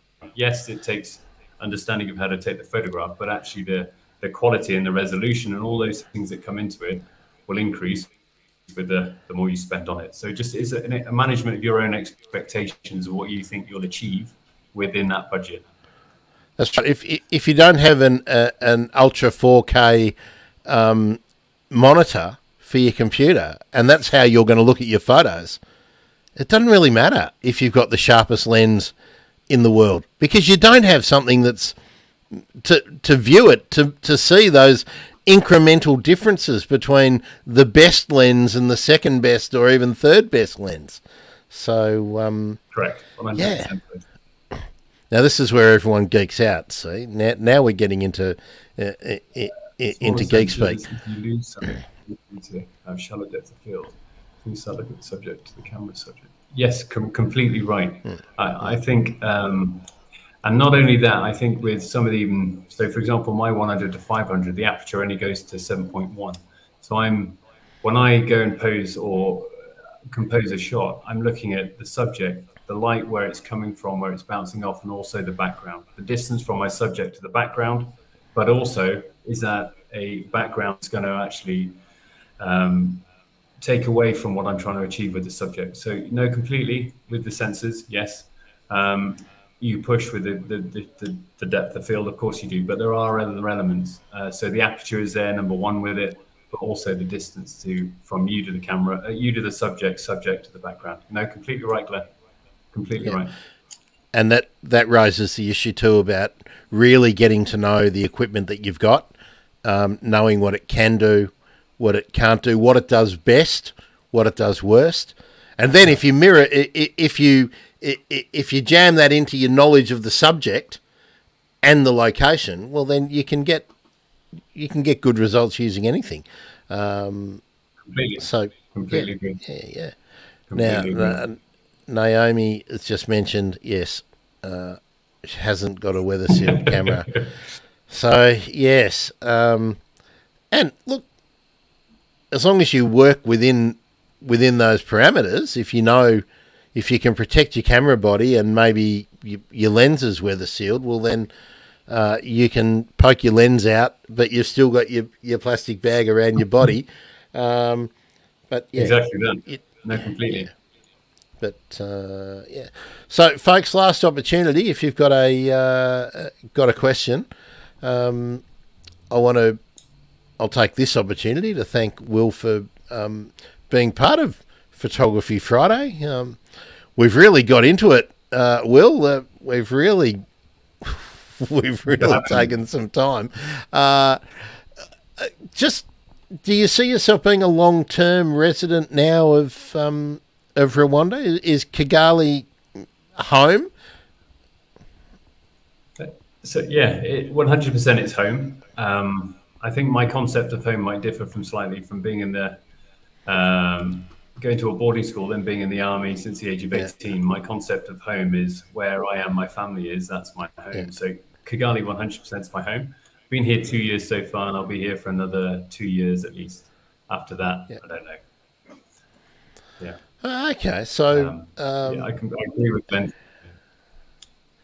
yeah, let's let's pop that up again here. I I put uh, uh, get to know your equipment. Oh yeah, Glenn, I that one nearly slipped past. Yes, uh, that yeah the the the, the disposable shower caps. Yeah, fantastic, and always always have a couple of um, uh, rubber bands of different types uh, in your in your cut in your kit. I would say too. Um, Naomi's saying thank you. Uh, that's great. Um, are you on Instagram? Yes, I'm on. I am. Yeah, two W's photography. Ah, yes. Okay, I will obviously link to all of that. Uh, another uh, another recommendation uh, that you're being asked for, Martin. I, I, uh, Will from Martin. I guess there's I guess there's a, a, a, caveat to this one, Martin. What what camera system are you in already? Because uh, I'm I'm assuming that Will will probably say if you're in one system and you already have invested in it, probably best to stay in it. But uh, let's see. Yeah.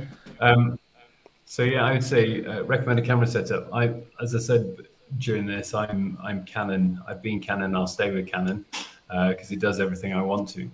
Um, and so, if you're photographing birds, as I say, a minimum of 300 millimeters. If you can get more, great. Um, and I, at the moment, my workhorse is an R3 and a 100 to 500. And I like. I know we, I, I spoke about a lot about the prime lenses, but I like the, the diversity or the, the flexibility it gives me with a telephoto lens that I can actually change subjects and, and reframe them. And especially with birds, with trying to get close enough to be able to fill that frame, to be able to move that telephoto ring to allow me to get more focal length is the best way to do it rather than actually yes, I am a big believer in moving around to get the right um, background and the right uh, composition that you're after. But actually, if it means getting too close to the bird. I'd rather have a telephoto lens that allows me to do it um, rather than that large prime. And so think about flexibility. So I go, as I said, my Canon R3 and the RF 100 to 500 is my workhorse. It's light, it's flexible, and it gives me so many opportunities and options. Um, the downsides, as, as there is with all, is that wide open aperture at f7.1. If I could just make it a little bit wider, then I'd be even happier. But you you, you got to live with what you got, right?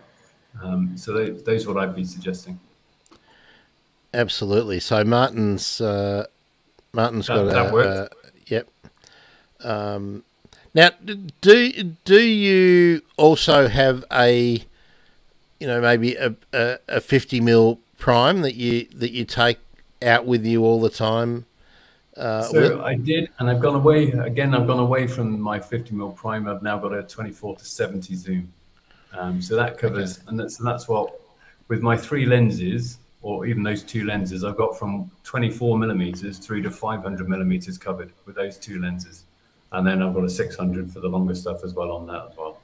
Um, the, one, the one thing we haven't spoken about is actually looking at some lenses rather than uh, having to get a longer, huge lens, is actually looking at the extenders. And, and those, I, and again, I was just going to ask you about speed boosters and extenders.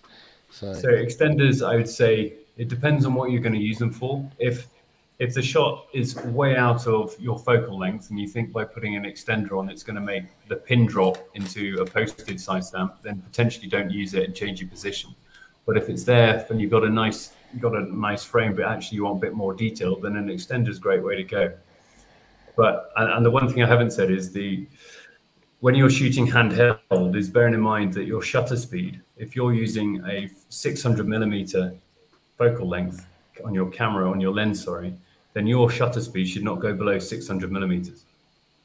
So whatever your shutter speed shouldn't go below your focal length. And that's without incorporating image stabilization that comes with a lot of the newer cameras nowadays. But if you have that as your rule of thumb, then you're not going to go far wrong um, with how long. But don't forget, if you put in the times two extender on, that's down to 1200. So that's one two hundredth of a second you're having to get up to. Uh, one twelve hundredth of a second you're having to keep as your minimum. So just bear those things in mind as well. Um, extenders versus speed booster because they're not they're not the same thing. Have you got a? Uh, do you have do you have both?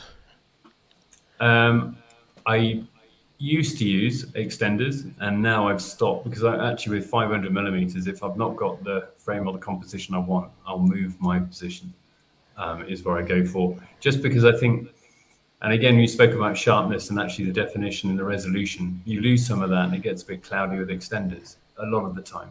That being said, if you put an extender with a mirrorless body with a technology, some of the technology in mirrorless now, you get some really good results. So whilst I don't do them, I know a lot of friends that do use them and get great results from them. So, and speed boosters, yeah, I, I just don't, I haven't gone towards them to be fair. Um, whether I'm not saying they're a bad idea, I'm just saying I don't use them. So um, I don't comment. um, now, Shane, Shane's a new uh, a new member of the Riot Squad. Um, oh, thanks to Shane, by the way. Um, I don't think I've sent you uh, an email, but uh, thanks very much. Shane went to thebirdemergency.com uh, slash join. Uh, you can also go to thebirdemergency.com slash coffee. Um, so there we are, Shane. Thank you. Um, now, an, an RX, RX10. Um, I'm not, I'm not sure. Do you know, do you know that one? No, I don't know that one, but as a bridge camera, um, that again, you got the. It's because it's the non-DSLR, so you've got the stuff coming out. Yeah. It's that bridge between that compact. But no, I've never heard of that model. But if it gives you 600 mil and equivalent lens and and traveling where where weight is a key requisite, then you've got a lot of bang for your buck right there. I'd say. Yeah, yeah, um, yeah. Sony, Sony at the moment um, got some great things. Uh, coming out. I mean, that was that was my my decision whether I went with the um, uh, micro four thirds or, or, or Sony, and it was really only the uh, the weight of the glass which um, uh, which which made me go the way I did. Plus, I can you know pretty good camera secondhand the uh, the uh, uh, the Lumix stuff. So um, yeah, no, completely agree. But yeah but you're locked into a, a, a an ecosystem for sure. Um, Correct. But yeah, yeah, we'll just go with that. Uh, okay, last chance, folks. Uh, before we let uh, let Will go, I, I, I want to ask Will whether he's whether he's had a photography disaster, especially if you were like if you were commissioned uh, or or you were you were out on a shoot to you know deliver deliver something, client work or a magazine story or something?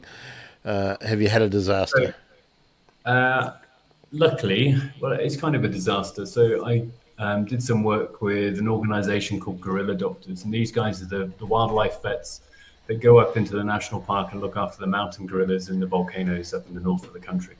Um, and so uh, they asked me to get some, go out with them and get some shots of them doing their work. Um, and so I, I, had been to see gorillas. I've, I'd tracked gorillas before, and so it was my first time. And I was like, right, okay. In my head, I was like, they need shots of the vets doing their work, and so that for an observation, they're using telephoto lens because they can't get close to the actual gorilla to do an observation and checks, and that's how they do the health checks. And so I was getting photo, and he's writing notes, and the vets are writing the notes. I'm taking photos of this, and in my head, I'm consciously going, "Don't get any shots. Not you're not there for the gorillas. You're there for the vets. Not there for the gorillas." So my shots are posed with vets and like a, a, gorilla, but that's about it. And so they don't dominate the image. I get back and the um, the comms lady's like, "Have you got any pictures of the gorillas?" I was like, um, "I can't seem to get photos of the vets." so luckily, we went out the, week after, and I've been. I, and I was like, right, okay, a few shots of the vets. Now all about the gorillas. So yeah, that was that was my misreading of the. So if you take commissioned work, make sure you get your requirements down. It's probably the key one. Yeah, well, they they probably didn't communicate clearly to you what the end use of the of the images were, because if, exactly. if, if if you knew that it was being used for PR PR photos, you know they they wanted some work, they wanted some photos to help them do their work, but they also wanted some nice pictures to help them raise some money for their service, exactly. no doubt. Um, exactly. So yeah, what exactly uh, that. that. was probably the one. Yeah. Uh, now, Martin Martin's thinking of getting a modern day camcorder. I reckon you can get some really great, um, you know, 4K camcorders that are even up to five, six years old now that you can pick up for a song. Um, so, what I'd also say is the the ability for video in now in the DSLRs and, and some of the cameras. Actually, you can get rather than getting two different things then I have the one in the same camera. So not a, good, a lot of the camera bodies you can get really good video. So maybe even think about rather than the camcorder and the, and the camera, you're just getting combined and getting a good camera that does that, well, that video you're that, after. That's pretty much what I bought. I because I've got the the show, um, and I want videos. I bought the Panasonic, which is a it's a hybrid, but it's a video camera that takes great stills. It's not a still camera that takes good videos. So um, you just make what what's your use that's, case? That's I mean, that's really that's the right. question. Um, yeah, yeah. Um, I, I I can't see myself ever trawling through thousands of still images um, that I've taken. uh, I, I I just don't think that's where my interest is. But maybe little three, four, five minute videos and lots of talking head stuff, um, you know, on location. That made yeah. my that that made my choice. So, I think.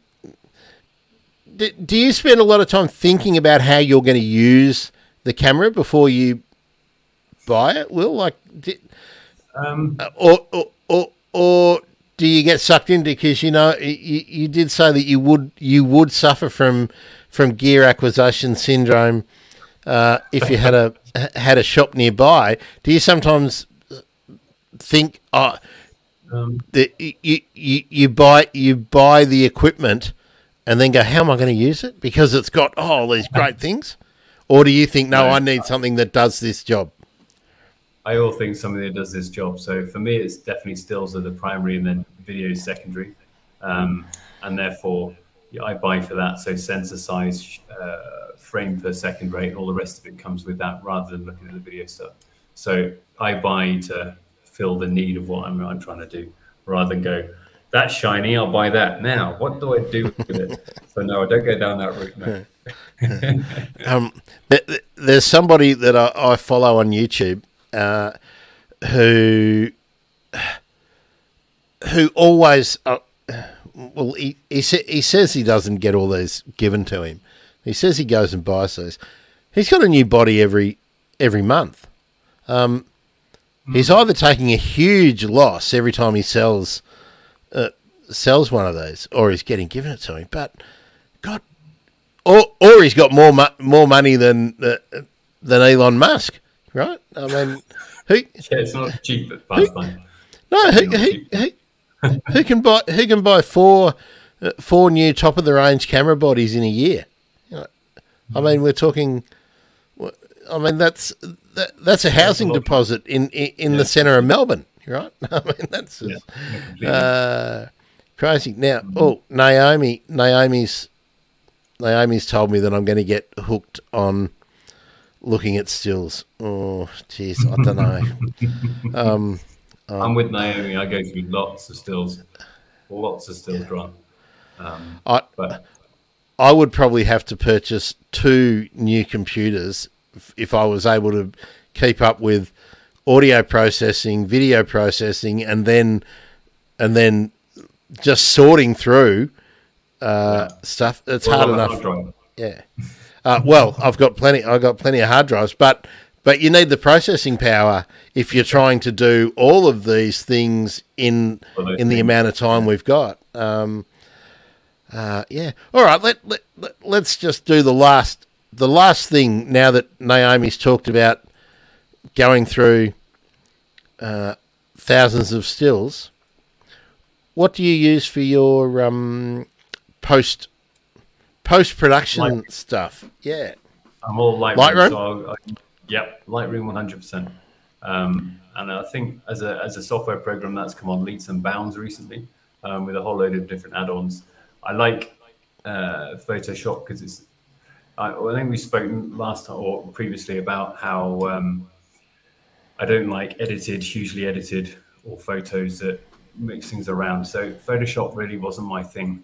Um, and Lightroom gives me everything I want. So be that saturation, vibrance, or anything you want to add to it, as far as that those elements. And actually, it works quite well from moving across. I also then use Topaz Labs, um, are a really good software program. So I use denoise and sharpen. Um, and your issue with getting resolution, there's a great little program called Gigapixel, which can put Yeah. back in, which I think is just amazing. It blew my mind. Um, so those, I and I only use Gig or Topaz Lab software as and when. So if I'm shooting in forest areas where the I- ISO is huge, then yes, I'll put it through denoise. Um, So those, those, that's kind of the workflow that I use, but that's it. And and if you don't Topaz um, AI, it's AI Yeah, baby. correct. So um, Yeah. whi- I- which which is which is just a buzzword uh, for saying it's a very very complex set of al- algorithms. Uh, It's not thinking. It's not thinking.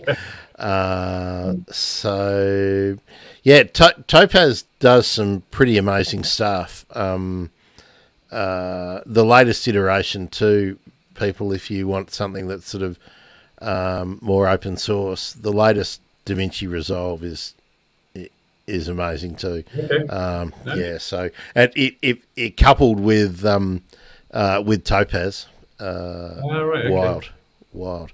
Oh, nice. Where uh, iOS, Mac, or are you a Windows uh, I'm Mac. Windows dude? Mac. Mac. I went with Apple iPhone first of all, and I've stayed with them um, through my time. Uh, but yeah, a MacBook Pro is what I use. Uh, now here we go. This is there we there we go. This is a good a, good question. Now, uh, I'm? Now I'm thinking, Will, that because you know your your camera well and you know your glass, you know how it performs in different setups. I'm thinking you probably get pretty good shots out of the camera anyway, and that the post pros the post processing is really just cherry on top stuff, isn't it? Like yeah, no, correct. like garbage No, in, garbage out. It, it Yeah, is it is always is always the rule, isn't it? Yeah, no, I, I completely agree with that. Getting great out, great shot off straight off the camera is exactly where you should be, and that's where you should be aiming. Um, your point of rubbish in, rubbish out is complete. As far as I can see, is completely there. You're not going to get a sharp image composed nicely, um, and do anything like that in your processing if you haven't actually done the right stuff in camera first. Um, no, completely. You need to know your camera to get it, and you should be. Yeah.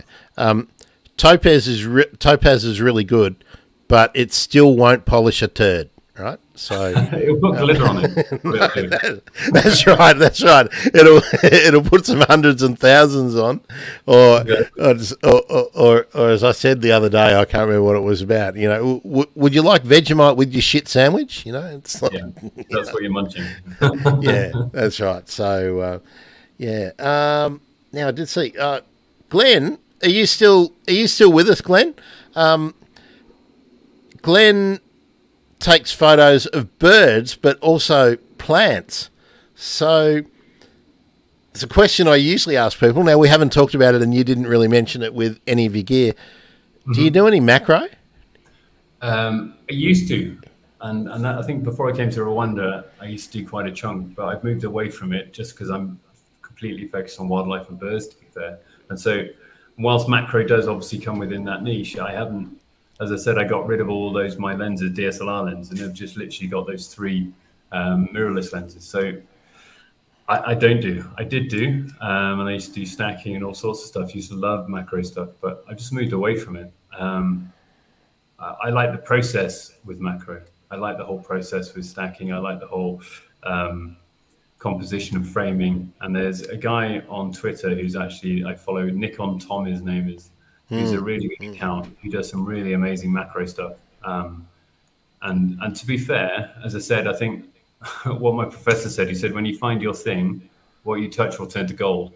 And so macro, I enjoyed it, but I don't think it turned to gold when I when I created images. So um, that's why I threw fungi flora. That's cool. And again, it's your passion, and that, that's the right thing to do. Is to photo as long as you're photographing your passion, and that's for for Glenza three Fs. That's that's awesome. Um, I think I've I've gone. I was really quite wide, and I've, I've my my photo set is niched down quite a lot. And I think what was lovely is I don't I'm now not not worried about saying. So I used to do event stuff. I used to do all sorts of stuff, and now I I go, has it got people in it? Yeah. Well, I'm not doing it. I prefer take photos of animals, nature. If you've got people in it, no, I'm, I'm good, thanks. Except your daughter, right? Well, yeah, except my daughter, family um, and documentary stuff. But it's not. It's the it's the frame portrait stuff that I just yeah, or weddings and things like that. It's like, ouch, no, stay away. Actually, this is. Uh, I was going to say last question. It's not. a second last question, unless someone from the gallery uh, comes in with another one. How much better are your family photos now than they were five years ago? A whole lot better. A whole lot better. Composition, framing, and perspective. It's one of the things, especially when I'm doing workshops, is um, people it's explaining get back in the same eye level of the subject you're taking. So if you go through a lot of even uh, family friends I've got, and, and, you look at their the pictures they've taken of their kid, and they're stood upright, looking down at the kid at the top of the head of the kid looking up. Get down on the same level, and you're just going to get amazingly better photos. And that's and that, and understanding the rule of thirds and where to put horizon lines and actually co- compose your images properly. Yeah, they've come on leaps and bounds. Um, yeah. Yeah, uh, I, I, I, do like Glenn's comment. Yet, don't photograph anything that talks back to you. I, I think that's, that's, that's nice. I like that. I'm a big that, fan of it. that's fair enough, uh, Martin. Uh, yeah, I think I think that's I think that's right. Um, yeah. I, that's why I'm the great imposter here. I don't.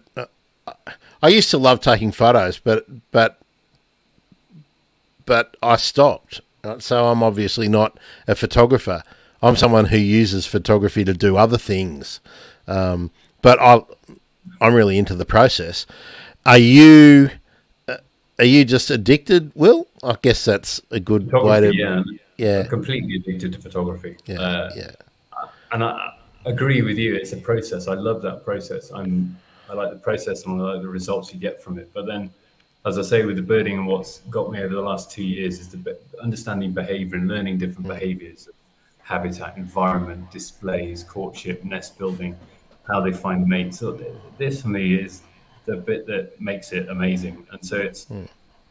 by having that passion, it takes your, I think it takes your photography to another level because you're wanting to try and understand how to get that one shot. Um, and it's, yeah, it was an American. I've written a quote down that I wanted to say because I think it links really well that humans are a part of nature, not apart from nature.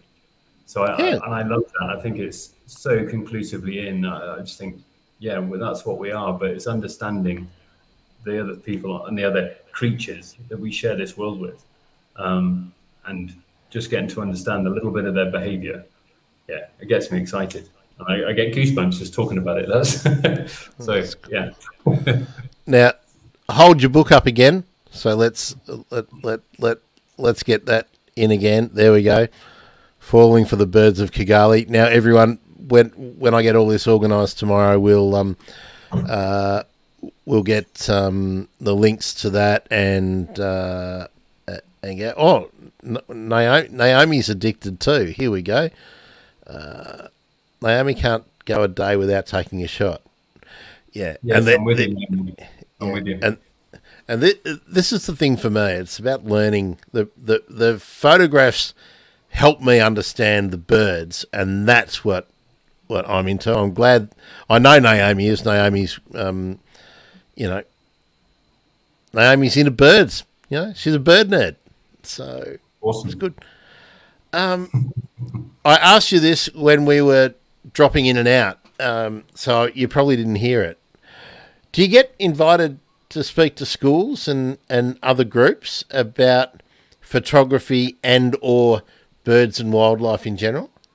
So since the book's come out, yes, I've been. I start, it started at my daughter's little preschool, and then other people have seen it and then asked for me to go and talk. And I'm like, yeah, no, completely. If I can, if I can open the eyes to anyone about what's on their doorstep with regards to the bird life and explaining little bits about birds, it's it's not just showing a book, it's explaining, I don't know, for example, the, the conversation we had about the hamerkop or understanding the, the, the, point about swifts and swallows and how long a swift stays in, in the air for and the fact it mates in the air, it can sleep in the air. And it's all these little nuggets of facts that blow blow kids' minds and they're like, what, really? And that, that eye-opening experience that you see when you talk to kids is, yeah, it's pretty awesome. So yeah, yeah, I do. Yeah. Fantastic. Well, Will, um, thanks. I can't believe I can't believe how long we've been we've been chatting for, uh, and and we we could just keep going. That's the the amazing thing about birds and photography. You really there's good. always another question about gear or technique or something. Um, well, I hope I hope that you'll you'll you'll join the family and that sometime down the line, what I usually do with Fotography Friday, but I my usually co one of my co contributors is off on a uh, on a trip, so I usually try and get a an experienced photographer in with someone at a lower level, and then and then the full. Um, so I'll, I'll, I'll invite you back again, and hopefully we can find a find a time where you know maybe maybe you can let me know. Um, you know, shoot me through some people that you'd love to talk to. You know, maybe some yeah. of the people that you stalk on on YouTube, and we'll see if we can get uh, uh, get them together. I'm I I've got a couple of uh, African people that have I've seen their safari uh, photography that I would love to talk to. Um, cool. and especially to talk ethics as well with uh, with yes. with a bunch of them. Yeah, um, Martin's got. How can you? That that's a great way to finish off. I just love birds. Yeah, freedom. That's right. Uh, birds are cool. Um, now I think the only thing I want to tell you all about again I do want to run the uh, run the ad again. Um, oh, look. I'm, go- I'm going to pop this one up just to get your comment because we were talking about Sandy we again. Yes, that's that's a, that is a fantastic picture for Australia. No doubt about it. No doubt about it.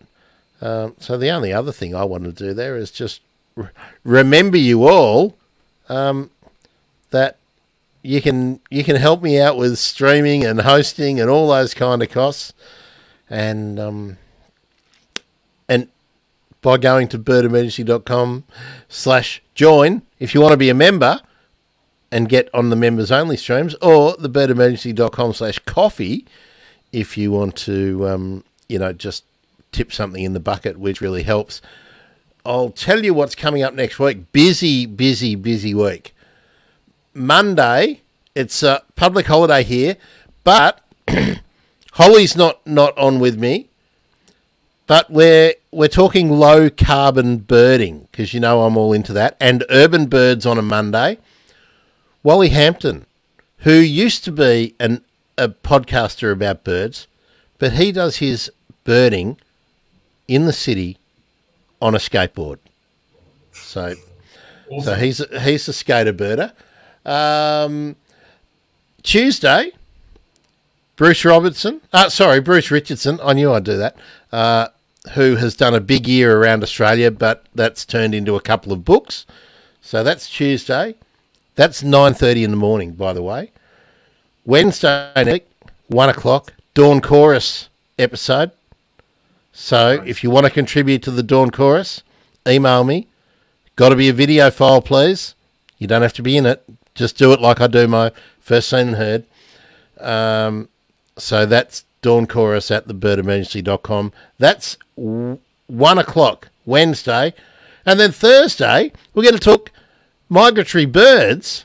Um, Rebecca Heisman has a uh, has a book coming out about migratory birds. She's in North America.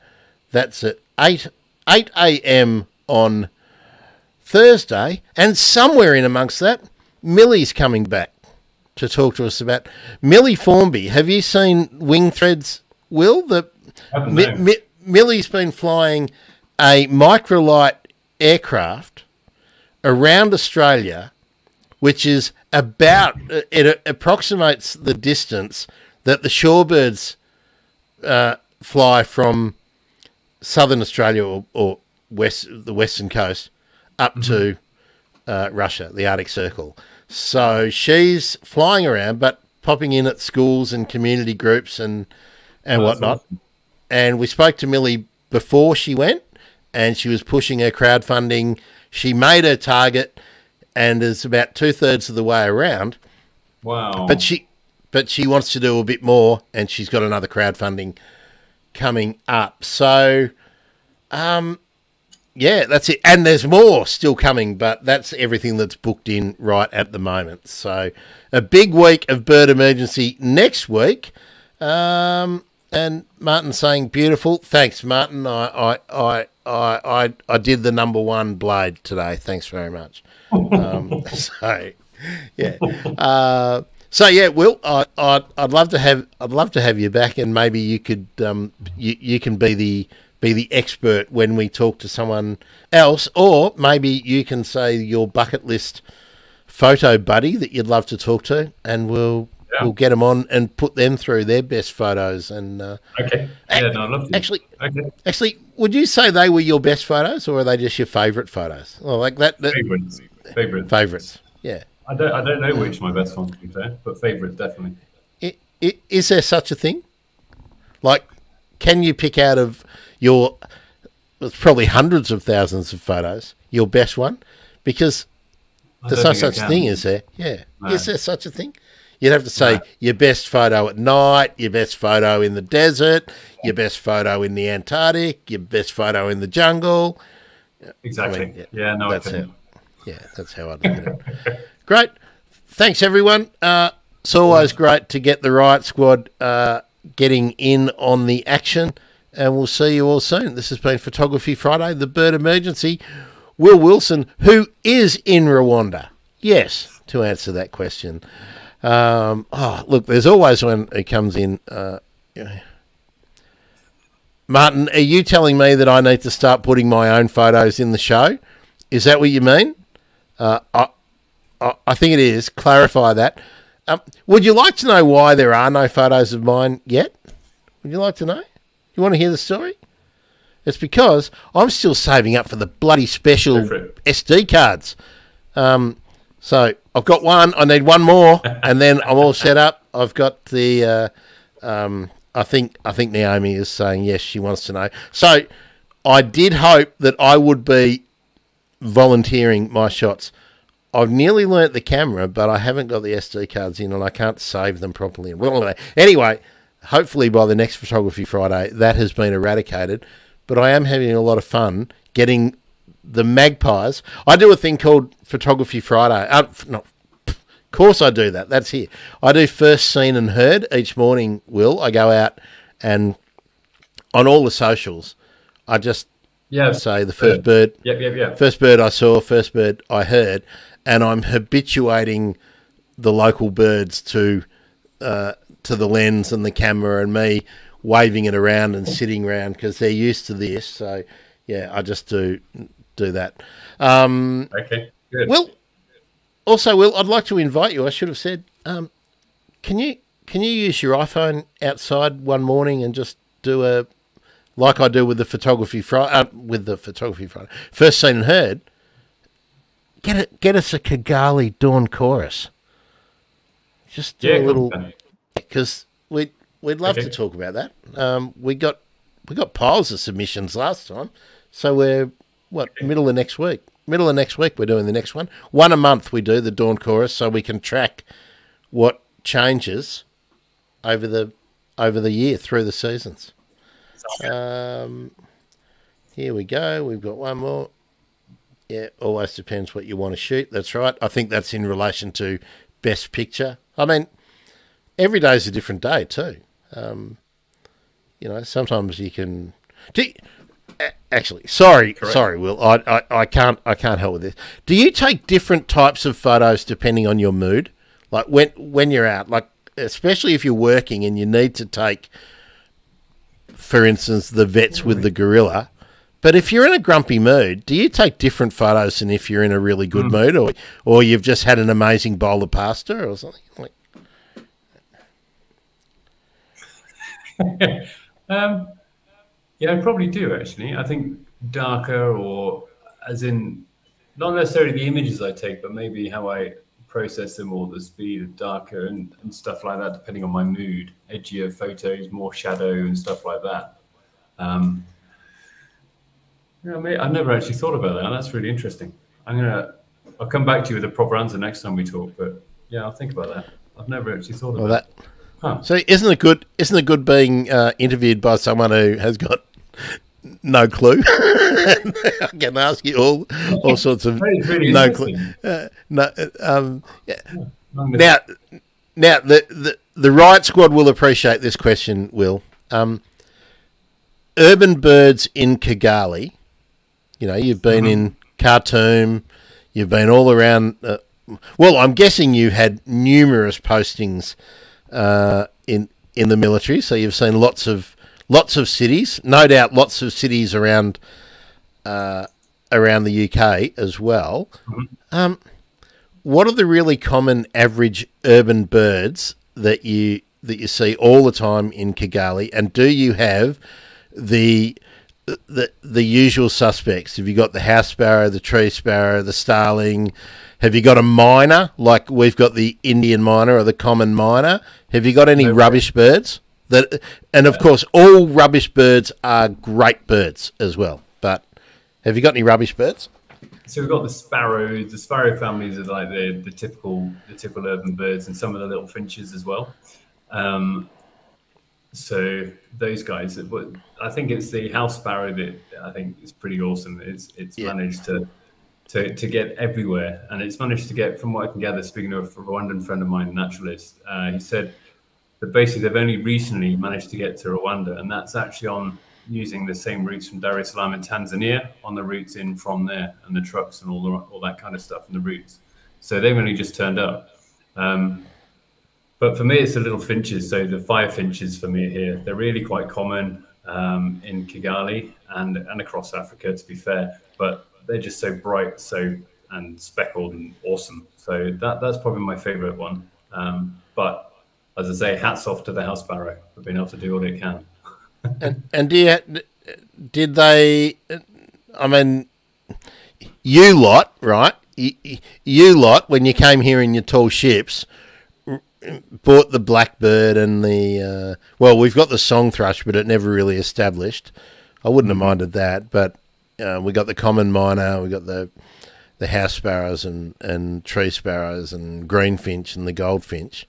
Um, ha- Have you got the have you got the starling there? Um, the common blackbird. Common blackbird, I no, not common blackbird, but we do have starlings. We've got the starlings here are um, the Rüppell longtail starling. Oh, Um, oh, but they're but they're proper starlings. They're African starlings. I mean, Yeah, I mean, haven't you, got any of the the you haven't got starlings. you haven't got any of the rubbish starlings. I mean, No, they, they've stayed away. okay. Well, no, uh, uh, no one bought them there. Uh, that we, we, we, we, we had a we had a society here in the uh, early 1800s. I can't remember exactly what it was called. Um, you know, they bought the rabbit and the hare and the fox, and because of course you want everything to look like Cornwall or Kent. Um, so thanks, uh, thanks everyone. Th- yeah, thanks. All, yeah, it did us. It really did us a solid there. Um, where, actually, where, where's home in, in, in the UK? Like we we have folks are, are from. Of, just north of uh, London, a place, uh, a county called Hertfordshire.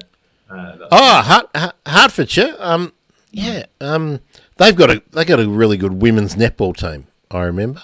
Um, okay, good. Yeah, I didn't I used know that, to, but awesome. Oh, right. used to, used to have a friend who who who played for them professionally when they when they started. Okay. So what what's the rubbish birds in Hertfordshire? Uh, the magpies, as I think, are the common ones. Um, sparrows, obviously the sparrows. Um, I like the tits. I'm a big fan of the blue tits, the great tits. All the little titmice, they're just lovely. So I wouldn't, I wouldn't put them in the little brown bird box, but yeah, they're, they're a common sight around the place. And then obviously the pigeons and the gulls, um, which I, I, it's the word of the, the idea of using the word pigeon compared to using the word dove. Mm. And in it, they explain when you go dove, oh, that's beautiful, it's lovely. When you go pigeon, oh, that's just bang just a rat with wings. You can't have that. I'm like, what? No, but, come on. Understand but, it. But they but they're talking about the, like the rock dove or the, the feral pigeon rather than your wood pigeon. Your wood pigeon is is amazing in the UK. Yeah, the emerald and the uh, blue, they're beautiful. Yeah, yeah, and the African one, which is a nice, lovely bright green. Yeah, yeah that's pretty cool. And of course, uh, of course, when we're wrapping up, we get another good a good question. Uh, what's the the fastest, most unpredictable I'm guessing bird you have photographed. Um, the most probably some of the swallows. So uh, there's a we get a, a, type of swallow called the white-headed saw-wing, which is fast, erratic, and all over the place, and doesn't seem to. Yeah, it's erratic, and so that those guys are probably the hardest ones. Um, yeah, the swallows and the, the swifts are more. Uh, swifts, I like it. It's those sort of fast-moving birds that are catching on the wing that you're trying to get in flight, those kind of flight shots. Um, and they just take time. And this is why I'm more than happy with a nice big SD card because it'll take a few times for you to get the shot that you're after with that composition. Mm. Um, so swallows and swifts are probably the, the hard ones to get, um, I'd say. And Martin had another question where I, I, I think Martin's asking, do you uh, do you target uh, something when you when you're going out, or do you just you're just out on a, uh, a, out on a leisurely stroll and just shoot whatever pops into view. So, I think for this book because it was it's not as a guidebook as such. It's more photographs of those birds. So you, I could be less focused on I need to tick this this species off, and that was more, and it was really nice and chilled and relaxed. The, the next books I'm working on are more bird behavior, and so that's going to be a lot more focused and targeted. So, yeah. At the moment, quite easy and nice and open, but after that, it's it goes even further because it's not just a species, but it's the right time of the year to be doing that that behaviour that I'm trying to photograph. So we'll so see. Uh, how long do you think your second book is going to take to to see the light of day? So I'm hoping by the end of the year. So oh, well, it's good. So you, you, yeah, yeah, yeah. With oh. my oh. wife, it's going to be a lot of the typing. And then when she yeah. comes back, I can then head off into the bush and get start photographing what I need to.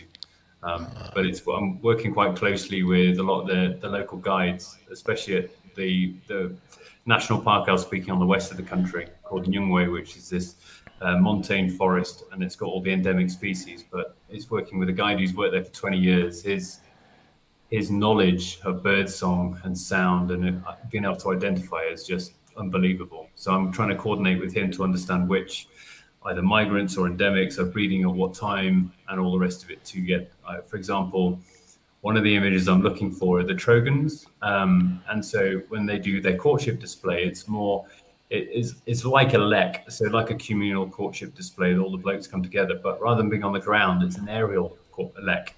So the females will be below on a perch, and the males will be up in the air, flying around and displaying for the females to then decide. So I have a number of these shots that I've got in my head that I need to capture that are quite specific and unique. So when I say the end of the year, it depends on when those shots come through yeah, and I get the right yeah, season. Yeah, so we will now, see, but yeah. Yeah, and now now the the next twenty trips that you do out, you won't see any. Um, no, of course not. That's that's always the way it goes. Um, now I'm I'm sure everyone will want me to make sure that I get you to put me uh, put me in touch with these tour guides because I'm sure that I'm sure that we we do tour guide Thursday when I can line up people to talk about really tours, and of course makes sense that we would do Rwanda. Yeah. I think now, doesn't it? So yeah, no problem uh, at all. Yeah, yeah, and and, and, and, and I'd love to talk to your friend uh, with the uh, sanctuary for the grey crown cranes as well. I think yeah. that sounds like a terrific project. So that fits right into right into the bird emergency. All right, now we're really done. Unless anyone, uh, unless anyone puts something in right now that is stunningly smart and interesting. Will, thanks so much. Um, best wishes, best wishes for the family, uh, your your wife especially, uh, and I look I look forward to talking with you again. This has been Definitely. a lot of fun. Boy, oh boy, Riot Squad. Um, what have we got? We've we've had we're coming up to six hours of bird emergency content today. Oh my god.